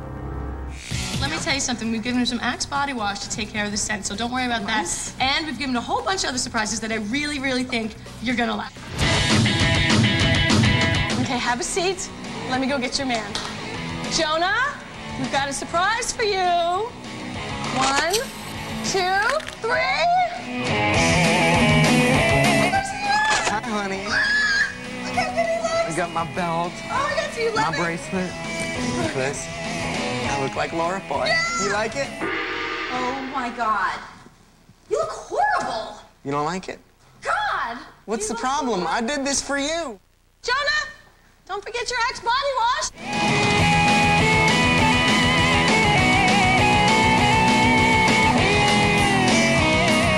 Only you would dress somebody up and make them look exactly like yourself. Well, given the fact that I actually used to look like that as well. Right, dude, it's a good look. Yeah, explains why the women ran. Yes, I'm sure people now are really writing in to be part of the I think he, I think he competition. looked great. What more could you want? Anybody, we're out of time. So we want to thank everybody for kicking around the old controller with us today. Especially thanks to the sets for filling in the incredibly large This is ash cheers. cushion left by Wait, Jeff that was Keighley. a cushion? I mm. thought it was an after dinner mint. That's why we love to have you around, Adam so Sessler. wrong on so many levels. And Tina, I want to thank you for making me look good just by being here. Absolutely. Uh, All Anytime, right. anytime. See you next week. Bye. Thank you.